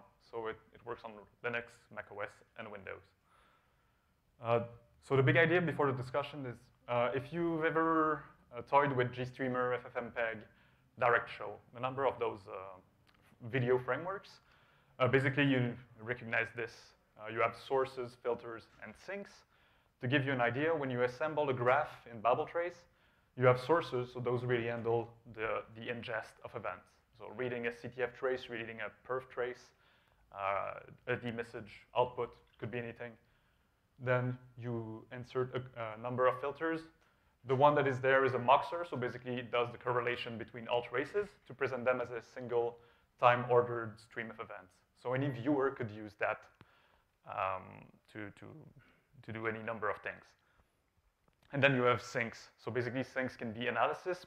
In that, in that case, that's a pretty printer, and that's the typical use when you use the actual Babel trace binary. Um, uh, for Babel trace 2, I mean, uh, all uh, the APIs are stable right now, and we're just working on the documentation. So it's going to be released uh, within a few weeks. At least the release candidate one is going to be released uh, within a few weeks. So the discussion points, and this is where we have a lot of overlap, uh, Stephen and I. Um, the first point I want to bring up is trace format stability and interface. Um, I work on LTTNG, so LTTNG uses CTF, which is an external spec that is not control. Oh, am I good? Okay. um, it's an external uh, spec, so it's not like the, the format of LTTNG, so it doesn't change. Uh, it's self-described, and LTTNG just produces that format, and there are a number of traces that use that. Um, but there are tracers that will have a very um, flexible trace formats that may change with every release. Uh, I don't know if that's the case of uh, perf and ftrace. I don't know if there's an intent to keep binary compatibility in terms of trace formats. Okay, the trace, uh, just trace command trace.dat file actually works. Uh, trace, trace command 1.0 can read the 3.0 trace data files. It may not have, a, if there's a new features, it uses options to extend the file, but uh, whatever it can read, it can read. So we try to keep forward and backward compatibility okay. in the trace.dat file. Okay. So did I answer your question on that one? Yeah, that's, that's my question. And I, and I mean, this is where um, a big problem that we have uh, with Babel Trace, we have basically all the components that you saw could be in the Babel Trace tree or out of tree. We have a plugin system.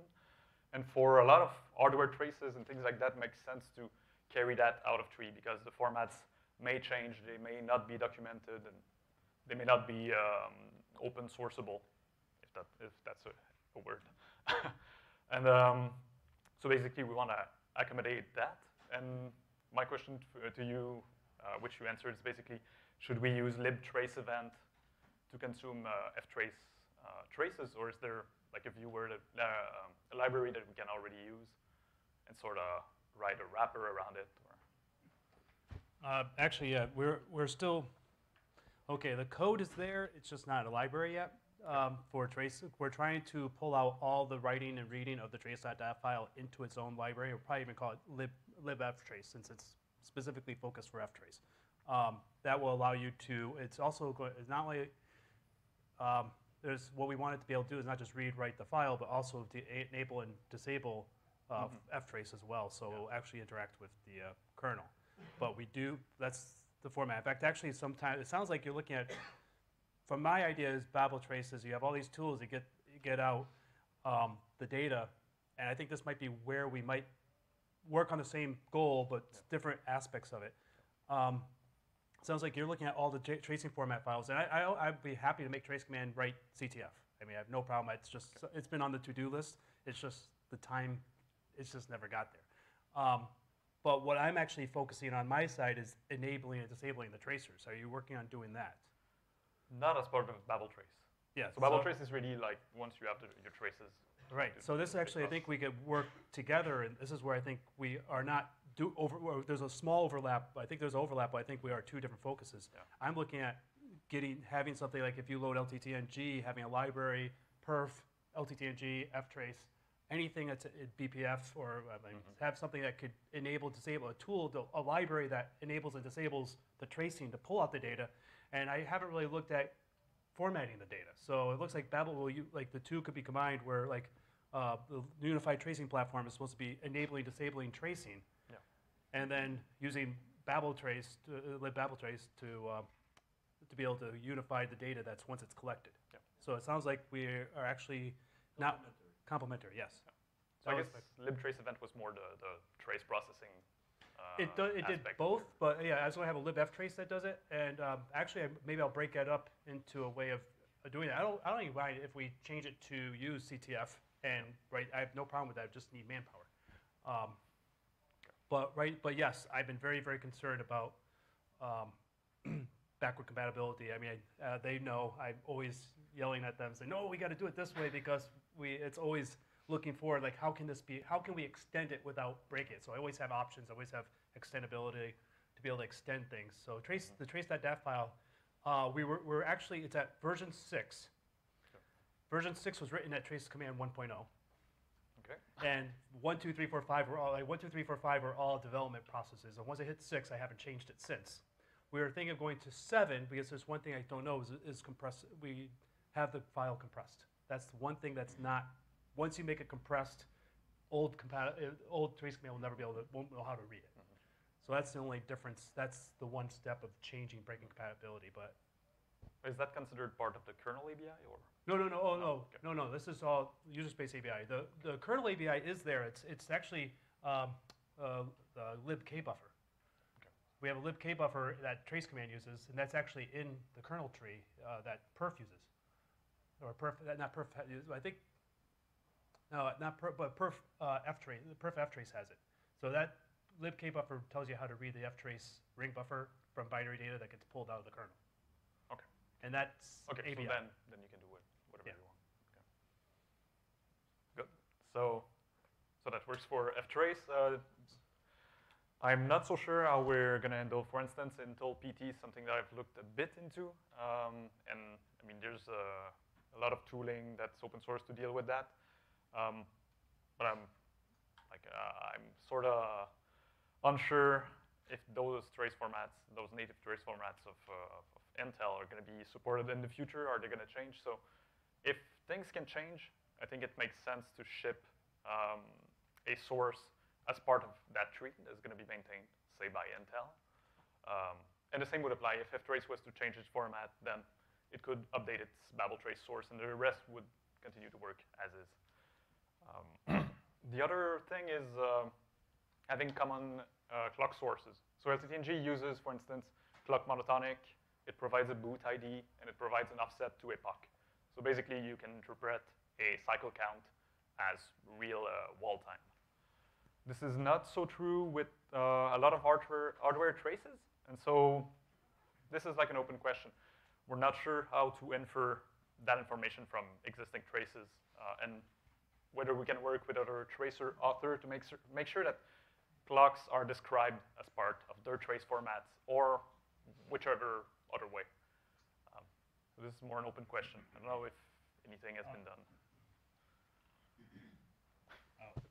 Yeah, that, it's funny because the clock um, in uh, libftrace or whatever, the trace command is just a counter. We end up, we're working on ways to, and actually it's defined in the libtrace event, uh, which is in the kernel, which is, uh, and we, I think we're, we're actually working, we're working on changing, because right now lib, libtrace event is not, we're working on making that into an ABI, uh, actual hard coding it into a true, you know, once we send it as a library, you know, it's called libtrace event.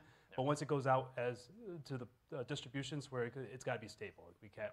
And we're still actually working on some of this um, to make it more just it's a number, and you could define. We actually created a new uh, ABI. What, what's it called? Tep, the print one.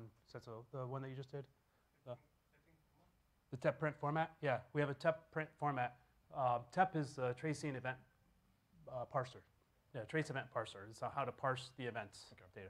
So um, the TEP um, for print format, what it does is you pass in um, basically uh, printf format, and then you could pass in, you know, you could use the uh, star dot the precision, and then say, okay, this is going to the field is I want the time, I want you know the timestamp this and this. So basically, to the interface, the timestamp is just a number, but you could the tool could pass in a print format thing to define to make that number into a precision, to truncate it or whatever. You could say, okay, but do Can you relate that to wall time, or, or is it like Well, always a cycle counter? And Uh, no, uh, okay, here's the thing about trace event, uh, or ftrace, and is the fact that the clock is uh, definable. There's, you can actually, there's a trace clock in the tracefs file system. So you can make it, give me cycles, give me, so it's just a number. So it's not, yes. So that brings a problem. I mean, if we can have information in the trace metadata about what configuration has been used for that clock, then Babel Trace would know if it can correlate with other tracers or not. That would be useful. Okay, I'm trying to remember, do we have an option in trace, the trace data that records, yeah, we record what clock is used. Um, yeah, it's uh, the trace.data. Yeah, we actually have. Um, uh, yeah, we, we actually record. We read the trace clock. Whatever's so if it says local, we actually say this is what the clock is. So at least it, that shouldn't change. I guess yeah, that's part. That's kernel ABI. So I guess that's something that we could say. You know, hey Linus, this can't change. So yes, you actually could tell you what clock was used um, for what number was. And that, that's actually one thing we changed. Before, we based off the format depending on what clock was used, and we realized that for a library, that's not what we wanted. We wanted the user to be able to be more flexible. That's why we created a trace format to do the change. But you could ask, what clock was this? And then make your decision. That's actually what trace command does. It now does what clock was used, and then makes its decision on how to format it based off of what clock it was. And, and the library doesn't uh, set the policy anymore. Before, yeah. But do you have any way to uh, preserve that offset to to uh, wall time or?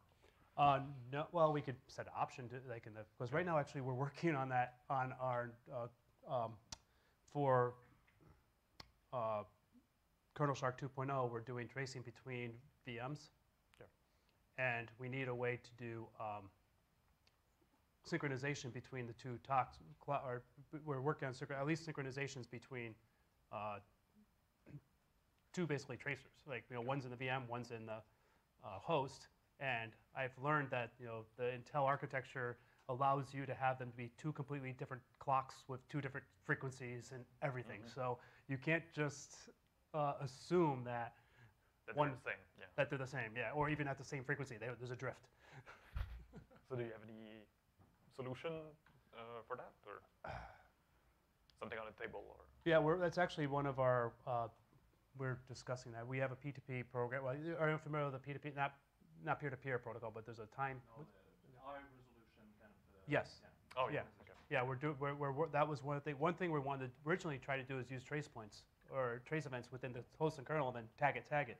But right now we're using vsock, it's, or vsock as our communication and vsock is very bloated. So trying to get the two trace points where the switch happens is extremely difficult. Hmm. And you could have, like, it's, you know, preemption is enable, enabled, so you can actually take your trace point, then preempt and then come back and then it switches. So it was very inaccurate. When we tried this, it was extremely inaccurate. We couldn't find places where it was done with interrupts disabled and, yeah. So that's, yeah, that's a thing that we're working on. Okay. I think I'm just about out of time. The, the last Oh. point was basically uh, um, making tra trace analysis tools uh, tracer agnostic. This is really an open discussion, but I mean, um, I've talked with people from Trace Compass, um, and I think Kernel Shark would be open to using Babel Trace just to read any number Oh, of no, yeah, uh, that's, that's trace our plan. Um, but the rest, making like making a bpftrace uh, scripts work with that is a really an open question. Something that we discussed yesterday. Um, so, I don't know if people have any uh, ideas to throw out there how you could uh, actually run those scripts, which are meant to to, to run real time, uh, not well real time, but on a live system um, from a postmortem trace, um, either through a sandboxed BPF interpreter that would try to recreate the context uh, that was available to the BPF probe, or you know whichever other solution. Okay, well, now, right now it's been a discussion, this right now, everything that's happened right now could have been done by us two just getting together, a few other people. Um, anyone have questions, ideas about, our discussion or topics? Basically, the idea is this, uh, how many people think there's too many tracers in the world? okay, so uh, basically the point is this, you know, what I've learned was that the reason why there's so many different tracers, and we tried the unified tracing buffer. You know, we had the you know the ring buffer wars, uh, the one ring buffer that ruled them all.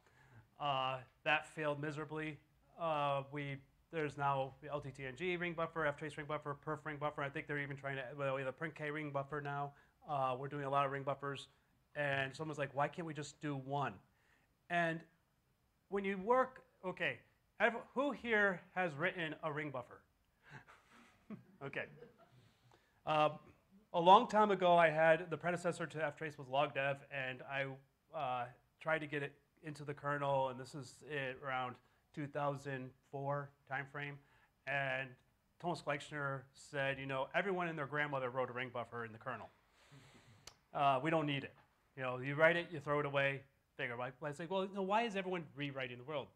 Well, once you start working on this, and this is something Matthew is very well aware of, the thing about tracing is you don't want to be, you don't want to affect the system. You want the Heisenberg issue low as possible. So you got to have a ring buffer that is lockless. You have the ring buffer that's extremely fast. You have to have something that can record and get out, zero copy. This means you got to do a lot of tricks. And the ring buffers, yes, raise. Um, but I'll give you this.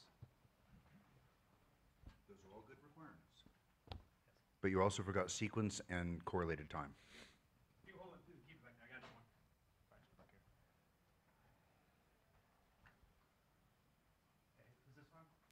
Okay.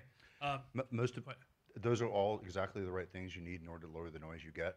But the big problem is when you try and put in some kind of correlated sequence or correlated time, and trying to get that usually throws you at a lock. Yeah, by the way, can you stand up so they can see who's talking?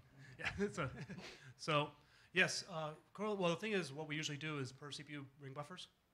And then you don't have to really worry about, the, I mean, actually, I have an issue with the ftrace ring buffer. I know Matthew had did it differently. I didn't really agree with his uh, solution, but uh, but his actually can't handle it. If I get if an interrupt happens when a event is being recorded because it's lockless and also I don't disable interrupts. I disable preemption. That's the only thing. Uh, just makes things easier.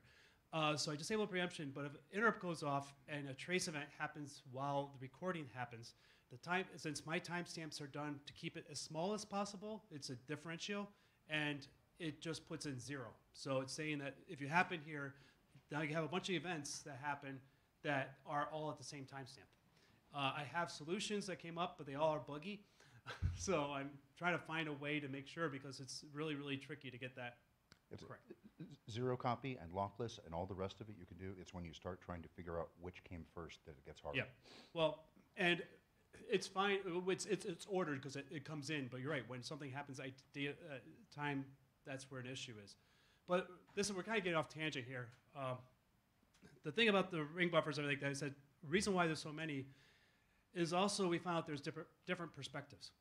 Um, the question came up earlier: Why is there, you know, why are we doing histograms when BPF could do it? But when the histogram code came out, Alexei was like, you know, BPF can do this, and I always say to people, I'm like, when you, I, I use the example of uh, or the analogy of Bash versus C. You know, when you need to do something real quick, and you just don't care, you just run in, you write your Bash, you, you start doing Bash. And once it gets a little bit more complex, like, oh wow, this is actually a useful feature I need to constantly use over and over again, extend it, it gets more complicated. Maintain it in Bash, it becomes a nightmare. Writing a true C program is where to go. That's basically the difference between ftrace and uh, BPF. I tell people, if you just need something quick, ftrace is there. Just I just want to do something once, or a couple things, or do some things. I do I use it all the time. I've yet really needed to. I have not needed to use eBPF because ftrace has done everything I've needed. But then again, I'm the author. I, if, if there's something I think ftrace needs, I just kind of write the code and change it. So uh, I've always told people ftrace was written for me, not you. Um, that's, but the point what I'm saying was, um, because of different perspectives, that's why we have so many different tools. What's sad part is one tool will have something another tool doesn't. And this is not the Unix world where we had AIX, Sun, you know, and everything else, the BSD, all proprietary systems where you know everyone was trying to outdo the other, and then you came up with a bunch of Unix systems that were incompatible, and that's why they died. It crashed. And everyone says Linux, the fork of Linux, will kill it. No, because the difference between back then and Linux is Linux is open source, GPL. When you see a feature that someone else has that you like, you can incorporate it in your own stuff. Or better, be able to lock in hook. So the idea here uh, kind of like what I said, I think this is where we're working. Their time, uh, Jeremy's proposal is we have a bunch of tracers, and we're trying to get them, you know, get a tool. You just get a tool and say, hey, I could use, you know, this library, and I could read all the data formats, and I could put together, I could take perf uh, cache counting as LTG, mo uh, uh, module loading or something, maybe ftrace function tracing, because ftrace function, uh, the ftrace ring buffer was made for function tracing. So it was made to be as you know for that constant pulling, where perf was made for more for profiling. So if you've done perf function tracing, you, you won't get as much data as much as you will with the ftrace. So there's a focus there. Um, but we, you could say if you got all these data formats, you want to correlate them. That's why we come up with the question, timestamps. That's a huge problem. And that's something that we have to work together with, and that's one of the discussions. So, anyone here a time expert? You are. Good. Worked on GPS. Okay, well, maybe you have some ideas that you can help us. It's hard. it, in a particular, you summed it up well. I mean, per CPU works really well if it's all happening on that CPU. When you have to start work, work when you have to start worrying about correlating things between CPUs, and especially when you have to cross from one socket to another, and there's huge cross transport delays, um, the issue gets fraught. Um, the best you can usually do is try and attempt an approximation of what you got, but trying to get everything strictly ordered, I don't think is possible. Yeah. And, wait, please, like, uh, if I- we, Mike? Sorry. Oops, sorry. Uh.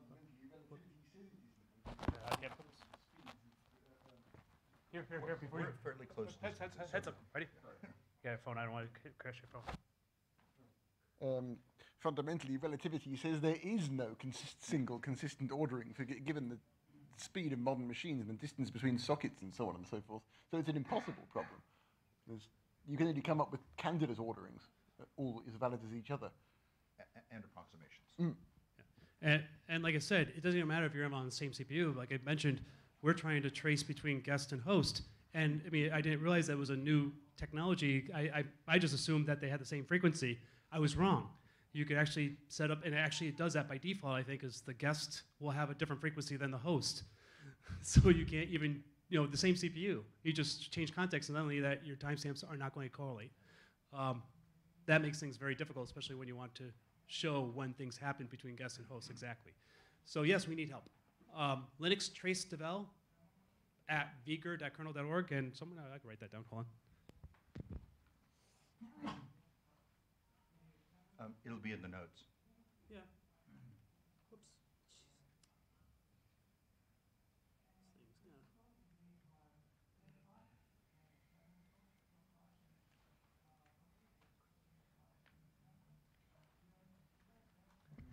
We would like to have people to um, subscribe. Please, this is okay. Linux Trace Devel. Please subscribe. Go to vger.kernel.org or yeah, and it'll be a mail. You can find it. Subscribe to it. This is where at least um, we do our all our development for lib or trace command and for um, kernel shark. It's open for if LTT LTTA you have your own mailing list. Um, if any, it's this is supposed to be generic. It's not. It says it's not trace command devel. It's not ftrace devel. It's supposed to be Linux trace devel. We're encouraging anyone to do that. I've told you to when you do the um, uh, what's called tracing summit. Please post to at least the users and devel so we know when it happens. I'm trying to get more people to subscribe here. This is where we do all our talking. Please come here because we this is where we post our patches for time synchronization. This is where we do our discussions on time synchronization. If you're you have a, it sounds like you have a lot more experience in this than we do. We really would appreciate any insight that you see on that. Um, anyone else have anything? So, uh, so basically, I talked about what uh, Jeremy was doing a little bit. What I'm focusing on now is I want to have a way to not just read the data, but use the data. So I want a lib perf. I want a lib EPF or something like that. I want a lib LTTNG. I want anything that could say, hey, I'm available. You know, I want a library that tells me. So a tool, any tool, you can write a tool or Python script to say what's available. And then from Python or whatever, say, okay, I want to start this function tracing. I want to start uh, maybe abstracting out what you asked, or maybe just say, hey, maybe get a single API that will work with, so maybe like have a unified tracing platform, maybe a lib UTP that will then figure out, oh, perf is available, ftrace is available, LTT is available, and be able to just get the data that you want, figure out the time synchronizations and everything else. And this is, like I said, I'm trying to figure out how to do this, how to get this done. It's not easy. You got a bunch of different ways, different ideas, different mentalities, and I'm trying to sum it up together instead of reinventing a wheel. I'm like, we have a lot of great functionality, a lot of great tools. That should be a platform. It shouldn't be a perf, uh, you know, trace compass. Right? These things should be able to use. Should, we should separate that. Have the user interface Some people like using trace command more than perf, or trace compass more than kernel shark, or whatever. That's fine. But the, everything else that of the, uh, the functionality should be a separation, should be abstracted out. And that's what I'm working on. That's what I'm trying to get people to do. So that's my pitch. Uh, if anyone wants to help out, have any ideas? It's always hard after the break. but that's the I, that that sums up what I'm trying to do. So at least if anything, I'm focusing on what I'm trying to go. So if you have ideas, there's also um, Linux Trace users as well. If you want, if you're, I try to post things, announcements. If you want to see, feel free to post announcements for you know Babel Trace on the Linux Trace users if you or uh, to get more users. It's open. Push it out. Um, I'm trying to see what else we have next. We might be early, but.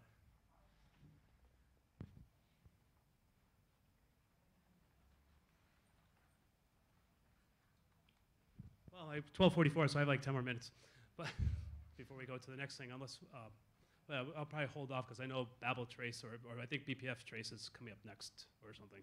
So um, I don't. I know people are going to come in at that time because I'm sure this, this room will probably get crowded there. Anything else we want to discuss, or is any ideas? Because that was basically why I was trying to come up with ideas. And speaking of the man, yeah, uh, do you have do you have the mic over there. How much does architecture affect what you're going to be able to do with the universal interface? The, the, underlying hardware that you have available? Um, well, that depends on, like I said, ideally I want a libperf that deals with it. I want a lib trace ftrace that deals with it.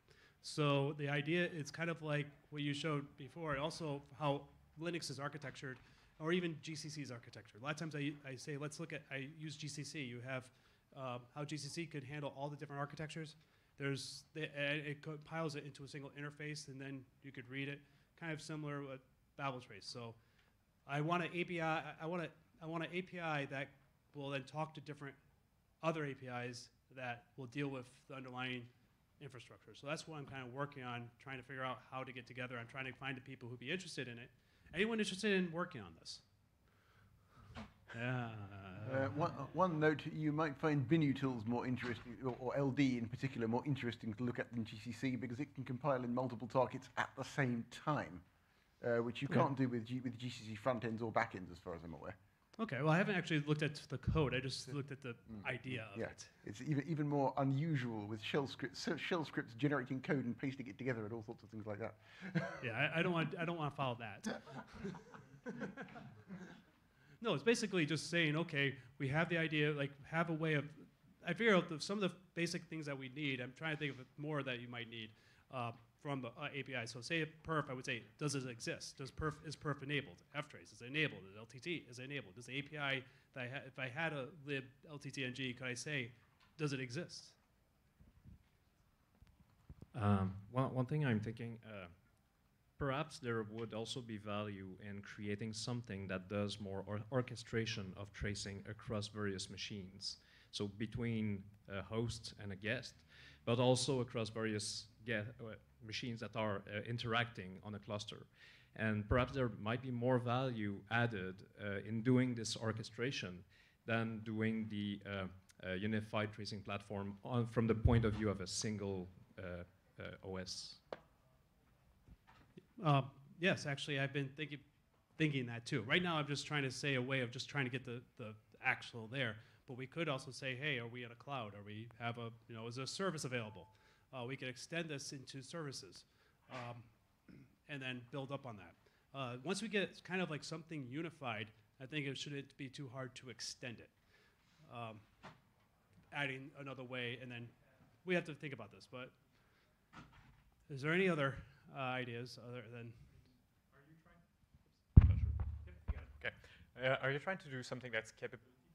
Like you want to trace sched switch? I don't care which tracer does it. I just want all yes. the sched switches in a yes. file somewhere. Or any yeah any sched switch. It, it, it, could determine or, which or whatever. Yeah. yeah. Okay. So yeah. it would use whatever is configured on that system. yeah, it will try maybe a few and figure out which one's the best. Or it could be the API could, or maybe you could say I want to do this one. Maybe have a way of saying just I just care about the ftrace version of it, or do perf version of it. Or if I don't care, it just finds one. So yes, I want to. I kind of want to abstract out uh, people caring about what's going on. I mean, you care about what's going on, but what's it's it's a tool, And I've always said about um, ftrace, ftrace is a second-class citizen in the Linux kernel. I keep telling people that. ftrace is, is trying not to be there. The important thing is whatever the work getting done. Your database acts, you know, when your customer comes in onto your system and you get a response, you do a Google search or something, it comes up and you get something real quick. That is important. The tracing of that is a debugging tool. So it's a utilization tool, and people don't care what debugger it is. They just care about their reaction to happen, and just give me something. It's not working the way I expect it. Why? They want a utility. This is why it doesn't really matter. So I always say ftrace is a second-class citizen. It, we, everything works fine, and try to give as much info to people and try to stay out of their way when doing it. I, th I, think one of the important thing to tackle with this uh, unified tracing platform is to replicate what is being done by tracers on other platforms, which is basically not requiring, not requiring people to be kernel experts in order to know what events they need to trace. So kind of having higher level profiles, saying I'm interested in I.O., I'm interested in scheduling, and so forth and so. Uh, so having those profiles at this unified tracing platform might, might make sense. Yeah, but that's to me that's the second stage. I want it right now. We're looking. Yeah, it's good to look forward, but I like we need to get the lib. Well, you have a lib uh, LTT ng. Yeah. So you have. So if I had a tool that just wants to interact, I could just write a tool. Great. Uh, I'm working right now on ftrace. I need one for perf. BPF might give something. I don't know. Well, BPF's a little more complicated because that's writing scripts and tools and stuff like that. Um, but having something that can implement all this stuff, and I'm trying to get it so the user doesn't care what tracer they're using. so if it's there, it's our job to make it easy for them. And we should be working together to try to make sure that that's the features are there and not be fighting about, oh, I want LTT, oh, I want BPF, or I want the, you know, that's, that's just squabbling among us. And it makes great LWN articles, but other than that, let's see here. I still got six minutes to waste. I would jump ahead, like I said. Um, if Brendan Gregg, I think you're next, right, Brendan? No, I'm not next. You're not next? No. Who's He's next? at the end. Was it? He's just Oh, before lunch. So you have someone else? Actually, you're next. No, actually, I, I'm in my field right now. Okay. So you're Don Bennett's uh, Alastair for BPF tracks, right? I think he just stepped out to use the Yes. Yeah. Well, actually, uh, yeah, 12. Yeah, because I'm supposed to be till 12:44. Although I think I, yeah, and s- so I have five more minutes. Yes. Oh, stretching. I keep looking over at you because I, you, I'm waiting for you to comment on something.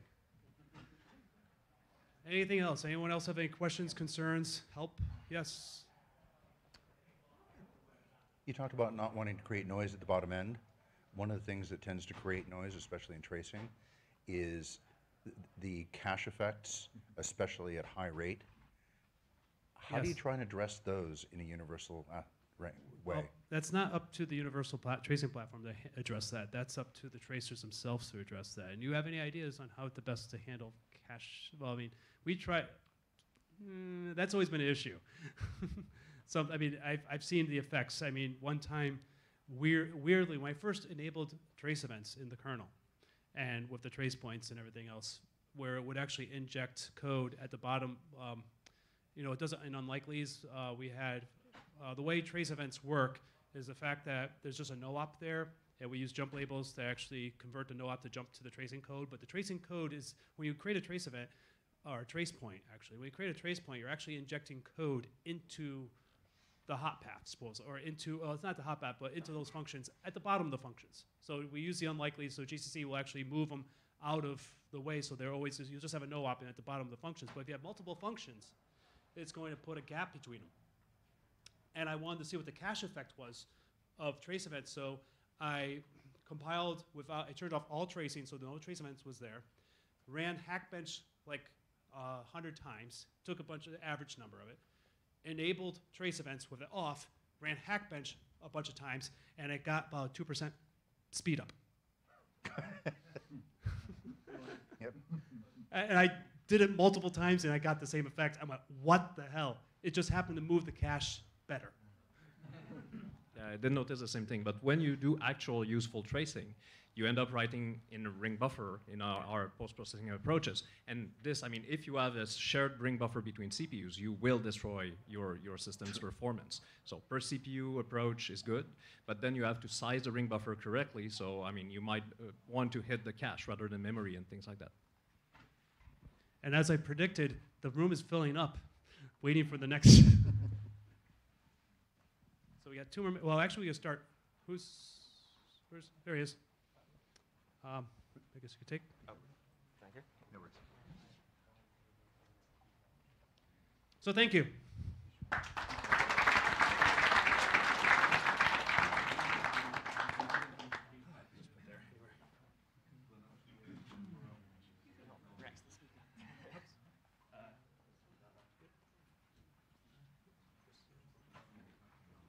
Careful with the cable. Yes. I don't know if the glasses did any anything. Oh yeah, what's the glass? So what, uh, whose glass? Whose yeah, water glass? I mean? Was that yours? Or dangerous. Oh, it's yours. Okay. Yeah, just don't kick it. Yes.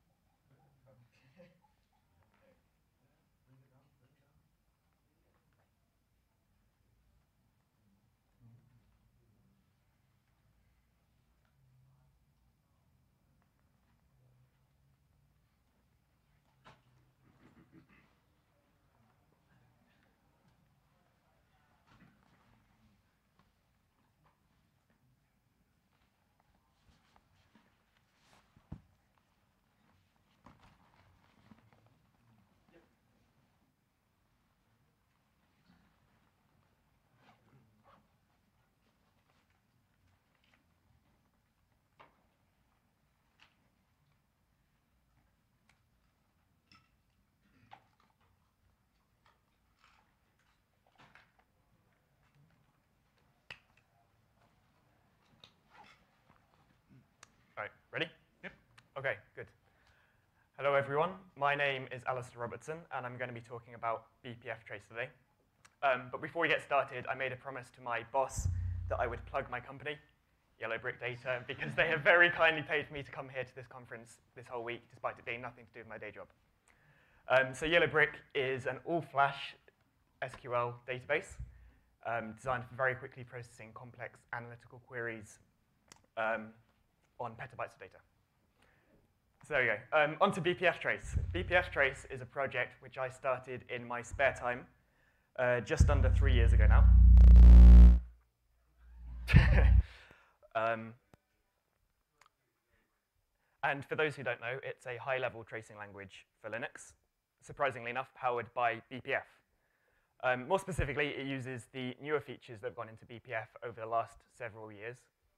Um, the stuff that is sometimes known as eBPF, or the Enhanced Berkeley Packet Filter.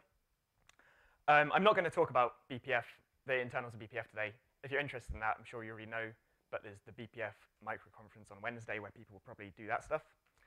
So today, what I am going to go over is first give a brief introduction to BPF Trace, just to make sure we're all on the same page about what it is. Um, later on, we'll talk about what we've been working on in the past year and our plans for the future. So if you install BPF Trace, you get a command line interface to it, command line tool, BPF Trace.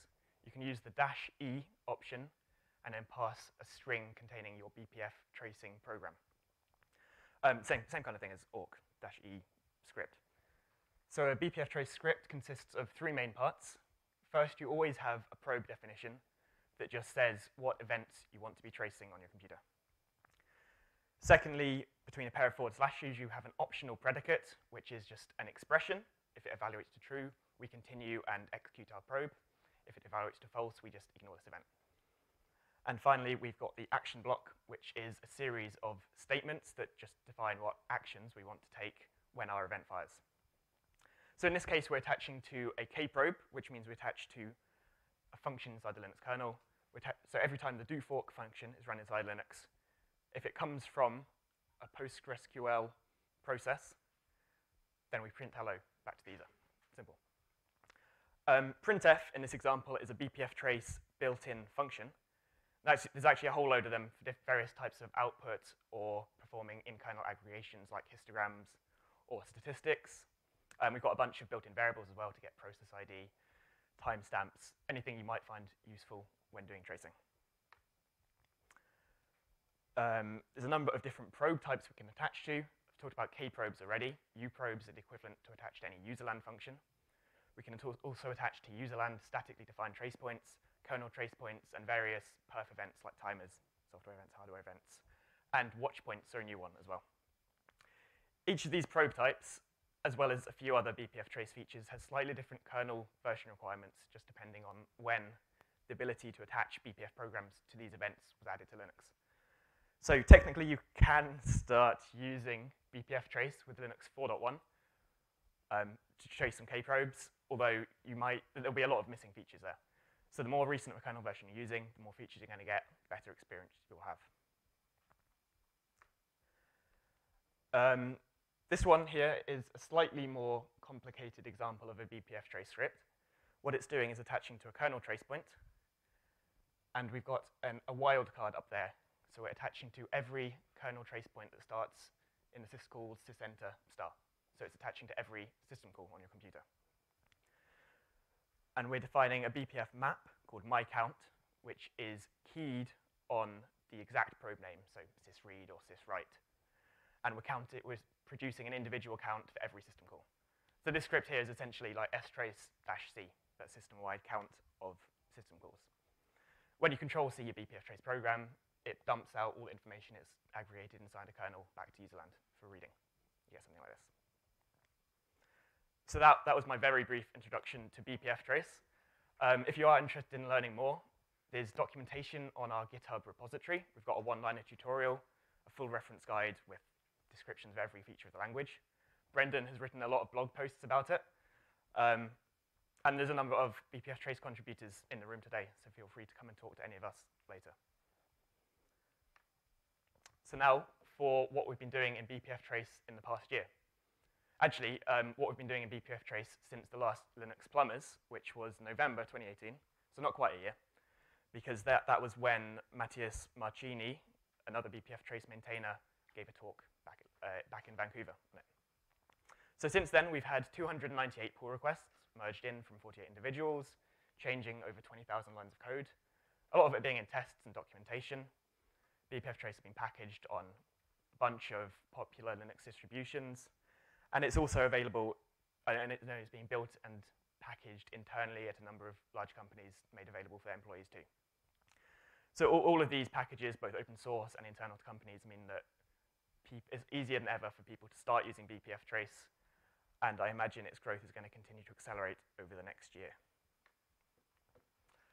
So now I've just got a list of a few big features that went in since November last year that I wanted to talk about. Um, first one is our compiler now has error context. Um, we record what line number the error message is on, character position on that line, and we, we print out and underline where the offending code is. Um, if you're just writing simple one-liners, it's not too big of a problem if there was no context, but as people start writing more complicated BPF trace scripts and reusable tools, then it can become, become a bit of a nightmare if there's no line numbers. So that, that's just a, an uncontroversial improvement there. Um, BPF Trace has always had unit tests, but there, were no, there was no end-to-end testing. So we've produced our own Python-based test library and our own test definition uh, format that makes it very easy to, to write full end-to-end tests so we can be more sure when we're developing BPF Trace that nothing breaks. Um, now onto more, more user-visible tracing features. Um, BPF Trace has now got native support for IP addresses, both IPv4 and IPv6, um, using the new ntop built-in function. You specify what type of IP address it is, a bit of data that's holding the IP address, and it produces a human-readable string. So this just makes it a lot easier to write tracing tools that trace networking applications, and we've got, we've got a number of new ones that have been added to repository, maybe taking advantage of it already.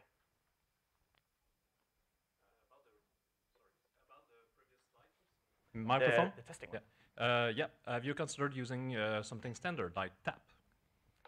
Um, I've not actually been too involved in the, the, the testing bit.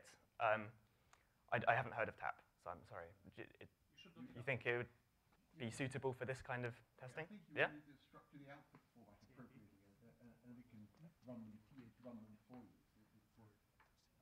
it's not. It doesn't constrain the input, as I understand it. TAP. Yeah. It's an output. Mm. Trace output output processes. Yeah, it's worth looking into.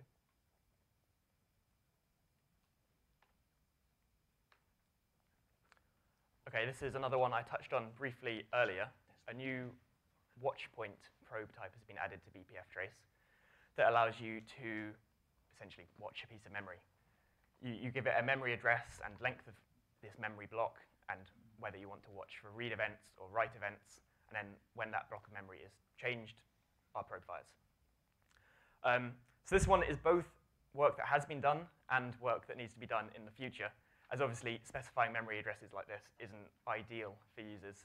You'd want to just put the name of a variable or something like that in there, and BPF trace will automatically look up its address and how big the variable is, and so that users don't have to mess around uh, with hex addresses. Question two, also, um, is this, I mean, BPF trace, I think it's root user only? Yes. Okay. So then you should have like proc kallsyms or you would take, or I guess from user space. Yeah, yeah, we, we are we, we do use proc kallsyms for K probes and stuff. Yeah, because proc kallsyms, sure, I believe it has very does variables exist or expect, I believe variables are. In, are they? No, but no, they're not. No, they're not good. They're just functions, are they? Oh, wait, global variables? Yeah, global variables are, but yeah, I guess if yeah. So, but then again, you might have trouble then the non local non-global variables if you want to watch point or something. That's. Well, well, lo- oh yeah, but then you have a lot of duplicates. But I'm saying local variables might be variable. But I'm saying is if you have most of the times I tried. That's right. I tried using kallsyms once for one of the K probes things I did, and I found out that there's actually a very limited amount of global variables. Most of the things you care about are not global. They're like allo- like I want to see this variable. Oh, it's like allocated and it's uh, allocated at runtime, and you got to go out and find it. And that's not in kallsyms. I guess that's what. I think it's missing non-exported. It's What? missing non-exported Well, module symbols. Um, oh, it's missing non. No, I think no. I think there is some. it's only no. They should. They're there. Well. Yeah. Right, static variables are there. I have to repeat what you just said. So yeah, so you have static variables are there, um, but yeah, I think that's the issue. Yeah, yeah. Um, so I was actually talking to some of the Facebook guys yesterday, um, and I heard there might be some problems.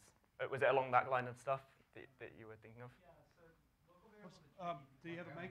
Mike? Does someone else have a? Throw, where's the other throwable mic? Is that one back there? Dave? we should have another one. Hello? Okay, cool. Uh, yeah, local variables are tricky because for um, BPF trace, you need to know Stand the. Uh, Too, so we can, we can see on the. oh, see who's speaking. sorry. Uh, yeah, so local variables are tricky because for BPF tracing, you know the um, virtual address ahead of time, and you don't really have access to the frame pointer. So even if you had the offset from the dwarf stuff, it may be really tricky to get the frame pointer uh, just to get the offset into like you know the function. Uh, so I'm not really sure what to do about that. You could do like some crazy stuff with like attach a probe to the entry point of the function, grab the frame pointer, calculate the offset, and install another probe. But then you could race with it, and you can't really pause execution in a BPF program. You can't install another probe in uh, BPF program context. Oops, uh, wait, uh, right here. Uh, there could easily be multiple simultaneously live instances of a, of a given local variable. So e- even then, you'd have you'd have problems. If, what if it was recursive? You're going to be repeatedly installing a probe at the, sa- at the same address. It's a, it's, Uh, a- it's, a, it's a flaming nightmare. We It- don't do recursion in the kernel. We try not to. Oh, I'm sure, I'm sure it happens. It happens in every software system. It- it- It's always limited. Mm, oh yeah, it's still, still it's non-zero though. Yeah, for local variables, it looks like uh, it's going to be really hairy. So I'm going to probably do the global stuff first, and then see if I get any inspiration. I don't know, maybe not. Um, I noticed that you are hash including a C file, a C header. Was that on a previous uh, yes. slide? Oh, yes, there. So how does this work? Are you compiling the probe definition into C code and then building it with, uh, compiling it to Um, BPF? no, or? no. So what happens is that we, we use libclang internally, and Yes. libclang um, parses their includes and structs and converts it into a format that BPF trace understands, and then And which then format is that? just an internal BPF trace thing. Okay. So wait, is that a, uh, so is that net- the net socket.h? So where, where that, is that coming, that's coming from the kernel itself? Yeah, yeah, that's stan- standard kernel headers. Yeah. Yep. Until BTF, because Jiri's done the BTF. Yes. So we have BTF support. It, did we There's a pull it? request. It hasn't been merged yet. So we have a pull request for BTF support, so we can just use BTF for that information instead. Hmm. In fact, Jury might be here somewhere, so we can talk to him about it. oh. thanks, thanks, Jiri. So one question there, Brendan. So with B, with BTF support, does that mean that arg0 will automatically know that is a struct sock?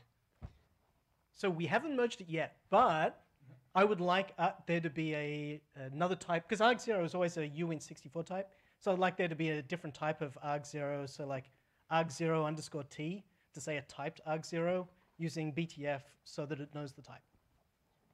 And so you could then choose to write programs that so you didn't have to cast things like we're doing here because it would know the type. So that's our uh, BTF can BTF or CTF? Which one? BTF, BPF type format. okay, uh, is that our uh, well uh, includes some uh, uh, local uh, what's it uh, argument names or just type? It's a lot of information. Uh, Yonghong Song is here who coded it. It's it's it's built into the kernel.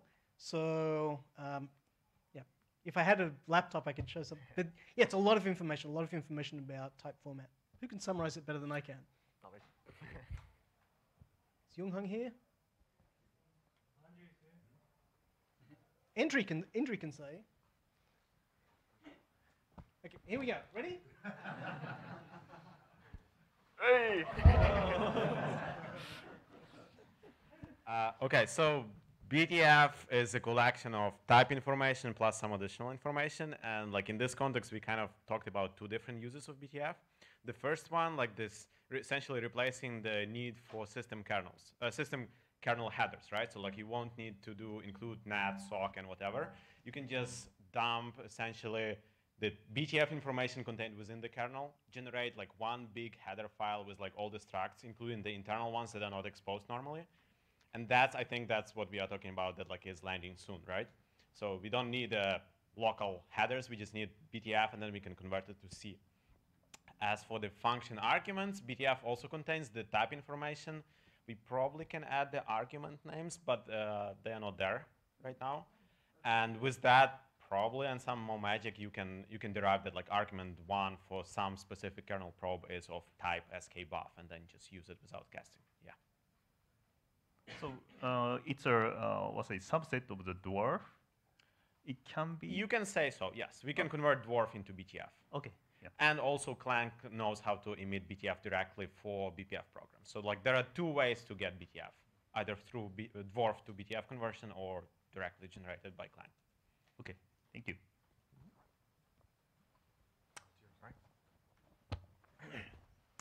Um, so I think we're done with watch points. Another one is, oh, no, sorry, we've got a question. A Question about that.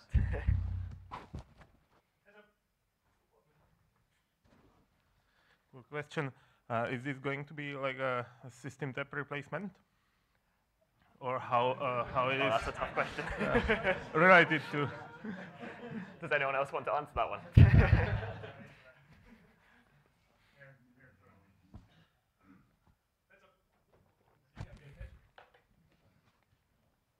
Well, System Tap isn't in the kernel.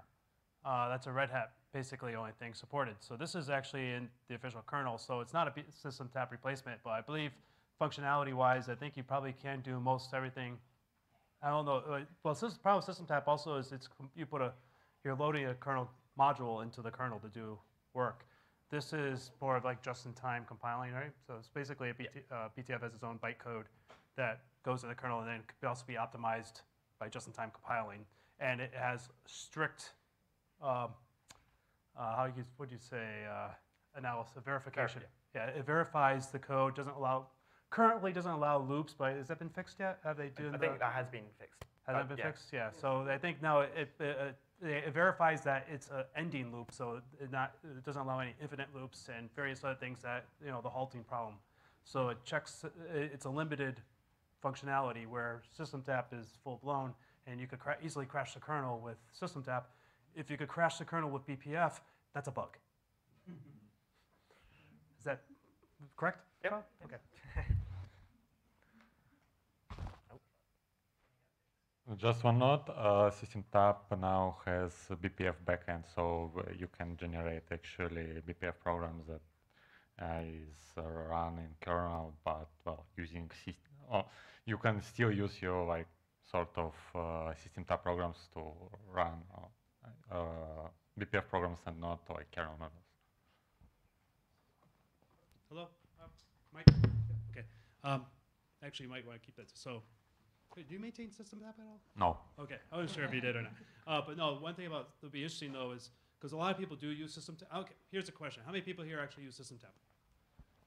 Got a few hands. Okay, and you, how many people here have like scripts that you don't want to modify that you use? Maybe a couple. Yes.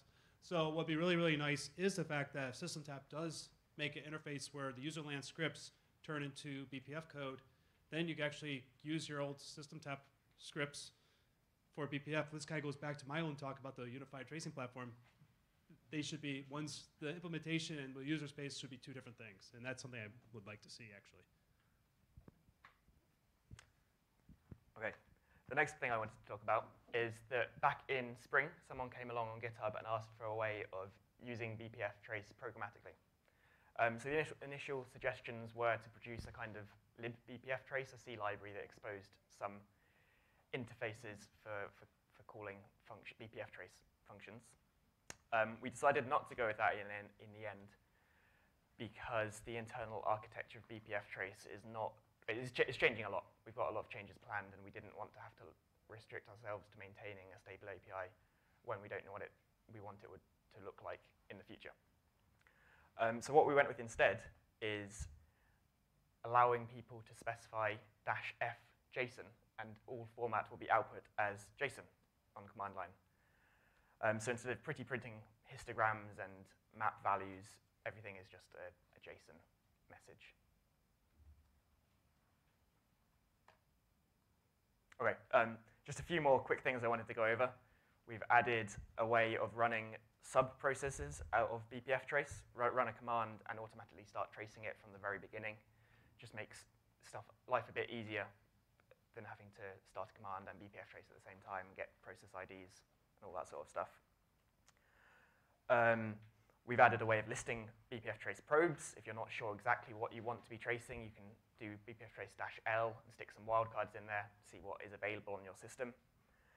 We've added better support for tracing Go programs because Go, Go's calling convection, uh, convention is for passing arguments on the stack rather than in registers as we currently expect. So we've added a few new built-ins for accessing stack arguments.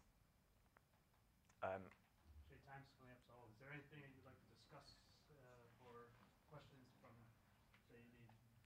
yes, future stuff.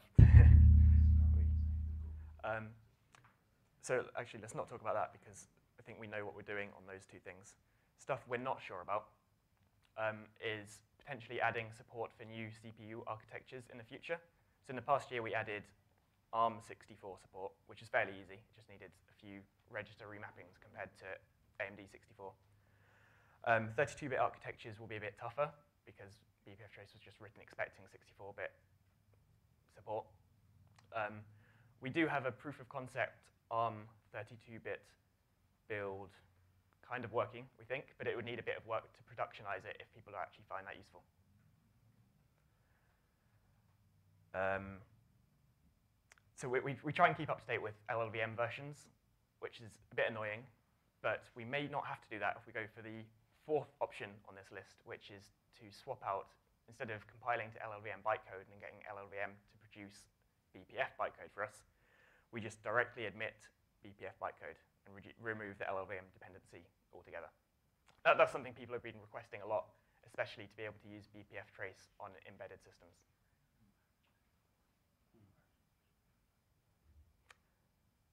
Yep. Um, and then I guess just any other features or suggestions that people would have.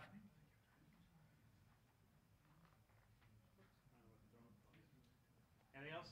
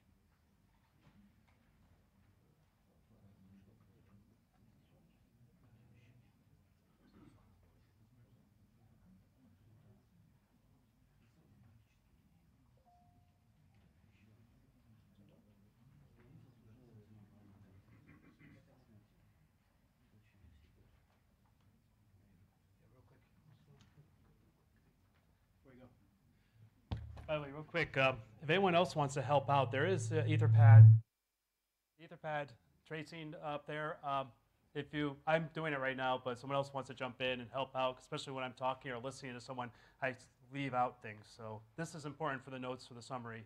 So feel free. Anyone could go to that link and edit. Are there any link or it's uh, right there. If you can read it, I'll make it bigger. Okay, testing microphone. Sounds good. Thank you. This discussion is on BPF tracing tools. And Alastair just talked about BPF trace. I've been maintaining this diagram to keep my head around what's going on with the different traces. As Steven mentioned earlier, there are too many traces. And I've spent a lot of time with all of them. BPF trace, okay, I've got BPF trace at the top. F trace, I keep moving down towards the right because it keeps adding capabilities. And we saw earlier with synthetic events how you can record variables and refer to them and then come up with custom latency distributions. That's great. I think it's actually making the ftrace interface harder to use, which is why ftrace really needs a higher level interface. And that's and the SQL style interface is one of them. And so as ftrace if we get a higher level interface that works, ftrace can make a detour and turn left and start moving up to the easier end of this diagram. BPF trace, at the moment, it's, it's looking great, 0.9.2, we just launched. And I began with BPF back with raw BPF and CBPF, which are really, really hard to use. And so over time, we've been adding the easier front ends. I've spent a lot of this year writing a book on BPF performance tools, and that shows what we can do with tracing capabilities. I discussed this in the IO Visor meeting at the end of 2017 that we needed a book. It's a great way to share everything things can do. Internally at Netflix, this is a way for me to scale my skills because I, have given copies to all the other developers so they can self-study. And this is also becoming the basis of an internal Netflix course that I can teach, instructor-led. But there was another reason as well, and that was at that point, we'd published a lot of documentation, especially myself and Sasha Goldshtein, on how to use BPF and various BPF tracing. And sooner or later, someone was going to throw it together and put together a book. And on one hand, that would have been okay, because if they threw together what was already published, I wrote a lot of it, so I guess it's okay. But on the other hand, it would be bad because I knew what was missing. So there was a lot of tracing tools I just hadn't done yet and documentation I just hadn't written yet. So if at the end of 2017 you took together what was published on BPF tracing and, and put it together and stuck it on Amazon, it would be incomplete. And so creating this book project was an opportunity to fill in the gaps. This diagram of the BPF performance tools in red are the new tools that I developed for the book. And especially I had a blind spot for socket tracing. And so I've gone around and added a lot new, created many new tools for socket stuff. But there were gaps all over the place. So it's really great to have this finished. It will be, the electronic version is on Safari right now. Uh, all the tools are open source on GitHub. I published the repo this morning, actually while I was sitting here in, the, in Plumbers. And the physical paper book should be out definitely by the end of the year. It's a big book, it's 750 pages. So it takes them a while to do copy edit and layout. So I'd expect a couple of months. Just as a quick example of what sort of things the tools can do. So I wrote a tool for read ahead, just was on my to-do list for many years, so that I can find out is the read ahead algorithm actually performing well or not, and then print out, after I've read, read in pages, so file system read ahead or prefetch, what's the age of the page when I use it? Because if they use quickly, it means the read ahead algorithm is working well. If they're very old by the time they're used, maybe read ahead was too aggressive. And also to do a count of unused pages. So you can have an idea of like, I would like, there's this algorithm in the kernel, this algorithm in the application. Is it working well or not? What's the ideal tool that would give me that information? And then you can code it in so few lines of code that it fits on a slide. There's the BPF trace program for that, where I'm just tracing some K-probes to do my accounting. So lots of tools like that, really lots of great use cases for performance analysis, filling in observability gaps. Discussion. As part of writing the book, I hit many brick walls where BPF, BPF trace in particular couldn't do something. And so with help from the community and Alastair and people in this room, we went and added those capabilities just so that I could get the tools written. And so getting to the end of the book is a huge milestone, not just for the book, but for BPF Trace and its own capabilities, because we we're able to get all the tools to work. But in getting those tools to work, I often had to use K-probes when I kind of should have used trace points, because trace points would be much more stable. At the top of the list of desired trace points would be VFS. Would really like VFS trace points. VFS read and write, it would be fantastic. Can expose arguments. Yes, someone else would like them as well. But I, yeah, you don't even need to say anything. I put the words in your mouth. Go ahead.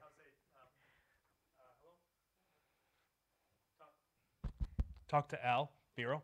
Uh, he's the one that's against it. Uh, one thing is we may not be able to, well, trace events, we may not be able to get trace points possibly, if that's okay. There's a difference. If, are you familiar with the difference? Uh, trace event, uh, trace. You told me before, yes. yes. trace events is what say again for the room and my memory. Okay. Uh, trace events are what you see in a TraceFS file system. Uh, when you do a create a trace event, you get the whole, here's the format, here's the fields, this.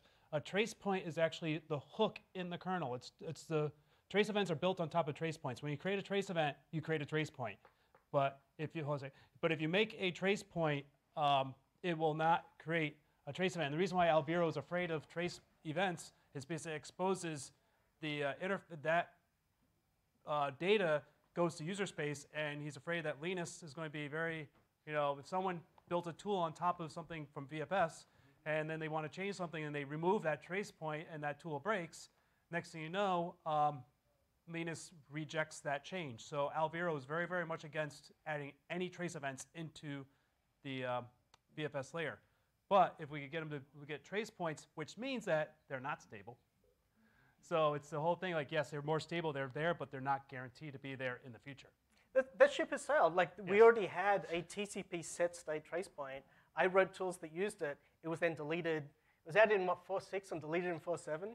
So I'm okay with trace points being best effort. And I said this at LSFMM as well. I'm okay with trace points. that was trace. That was a trace event. Not even a trace point, was it? That was a trace event. That was a trace point that was added and removed. No, I'm saying was it was it exposed by the trace It file was- it was exposed- it was That's a trace event. There's a difference. That's what I'm saying. The Okay. Trace event is what's exposed. Trace points are just the hook. Yeah, But yeah. Wait, wait, wait. So here, yeah. Yep. Wait. Yes, he. Linus has said. Um, yeah, you said Linus has said he, it's okay if they change. No, he's basically said, yeah, they're changed as long as they don't break anything like PowerTop that's really useful. Not true. He- no, no, Steven. Like, Where is he? Let's. What? Raise your hand. So There he is. Yeah, we're you gonna have want- this if you argument want- again. If you want to have to ask this, you asked this question already many times, and Linus many times clarified. It is okay. Well, Linus to will be here them. tomorrow. Yes. So. So let's sit down and so him. Sure. Okay. Let's do it again. But Yes, and like that's talk. been Let this guy already like mentioned many times. There were LWN articles written about Yeah, it. yeah, yeah. Like this done. Like you can change them. We had trace point. They were exposed. We had trace point, trace event, everything. We removed them. Yeah, but the, We changed them. Like Linus has said, you know, user does, does user space break? We break user space all the time. Yes. But it's the old thing. If no one notices, did it really break? No, we did break, and Brendan fixed his yeah, you're, tool you're lucky that you because have we someone that changed doesn't complain to. Linus.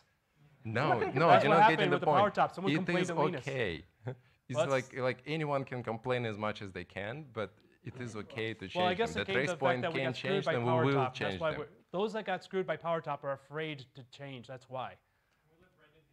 But yeah, well, actually, I want this guy to talk, who's been very patient. I wanted to add to this uh, issue trace event, trace points, one data point, which is uh, the PELT trace point that are going to appear in 5.3 are going to be of this new kind. They don't expose the trace event.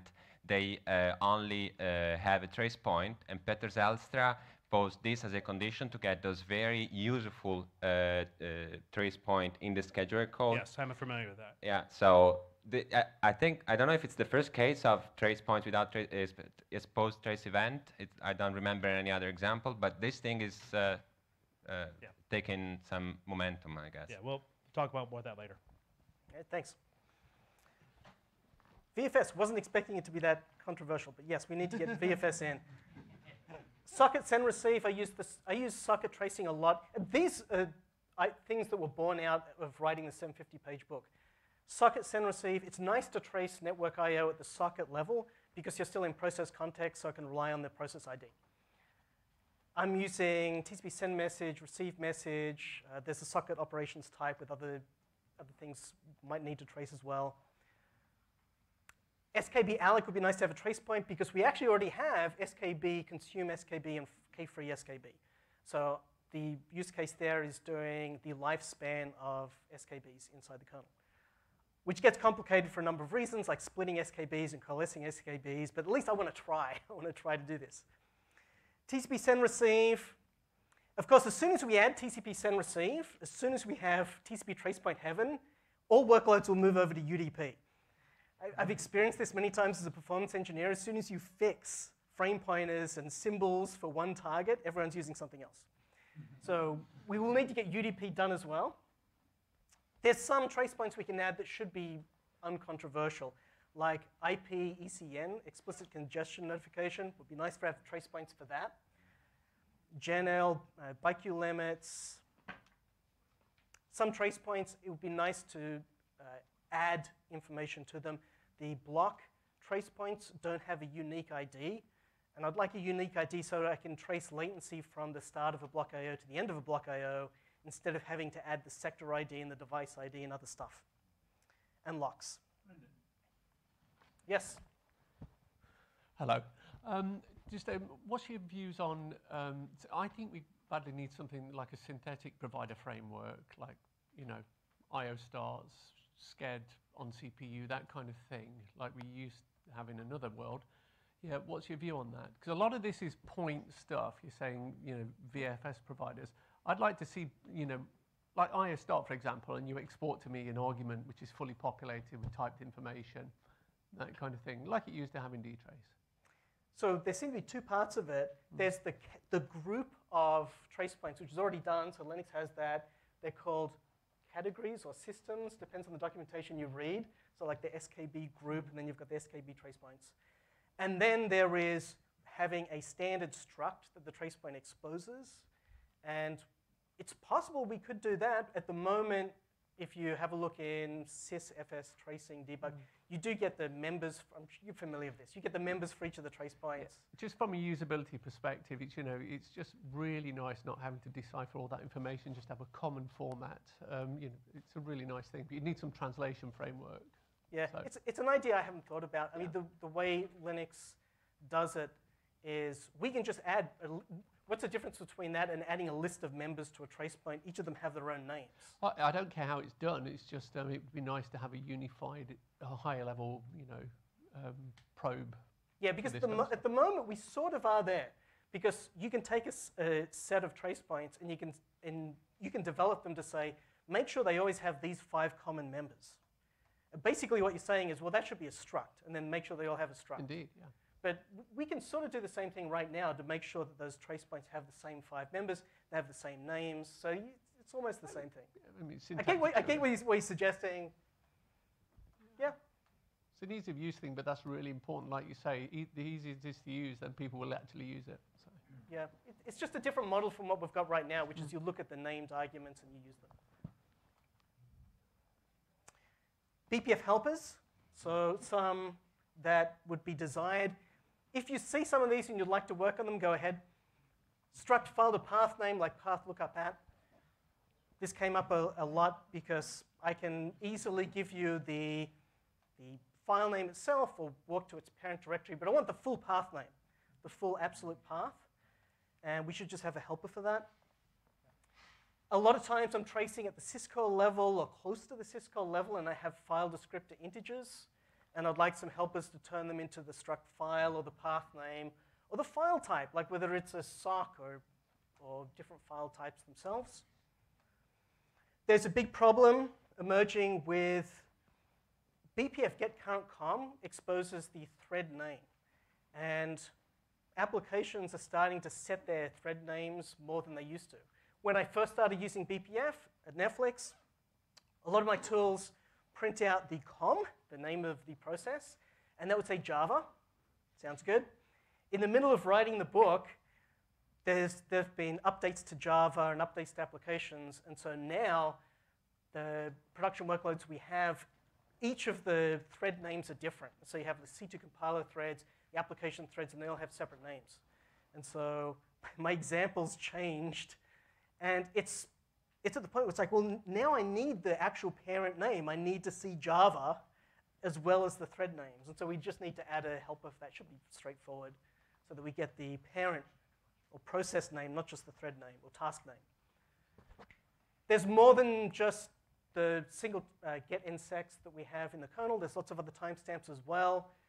I would like all the timestamps the kernel tracks, give them to me because I'll find a use for them. So the CPU time, we need to add a helper for fetching that. There's time stamps for scheduler accounting, delay accounting, all sorts of timestamps. So why do I want all the timestamps? Imagine you can uprobe an application request, so when it begins and ends, and then I can break it down into time spent waiting on the run queue, time spent waiting on disk I/O, time spent waiting on all these things. That's the marriage of application context and kernel context that makes this tracing worthwhile. Because if I try and sell tracing to application developers, they already have custom tracing tools often for the application, which are pretty good and have all these custom things. So why, why would they want to go and use a kernel tracer? You want to use it because the kernel has extra information and you want to marry it with the application context. And so all those timestamps are an example of extra information. It's so easy to fetch the timestamp when you enter an application request and when you finish, what happens, provided you're on the same task, thread ID. So would be great. More string functions we might, might need. I just wanted to add that to the slide. Bigger capabilities, BTF. Thanks, Yonghong Song. We've already got BTF there. Unprivileged BTF we've been discussing. So that's something that we need for some environments.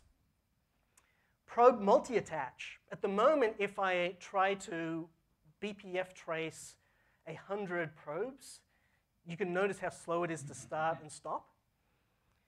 ftrace is really fast in comparison, so I use ftrace for, for a lot of function counting tasks.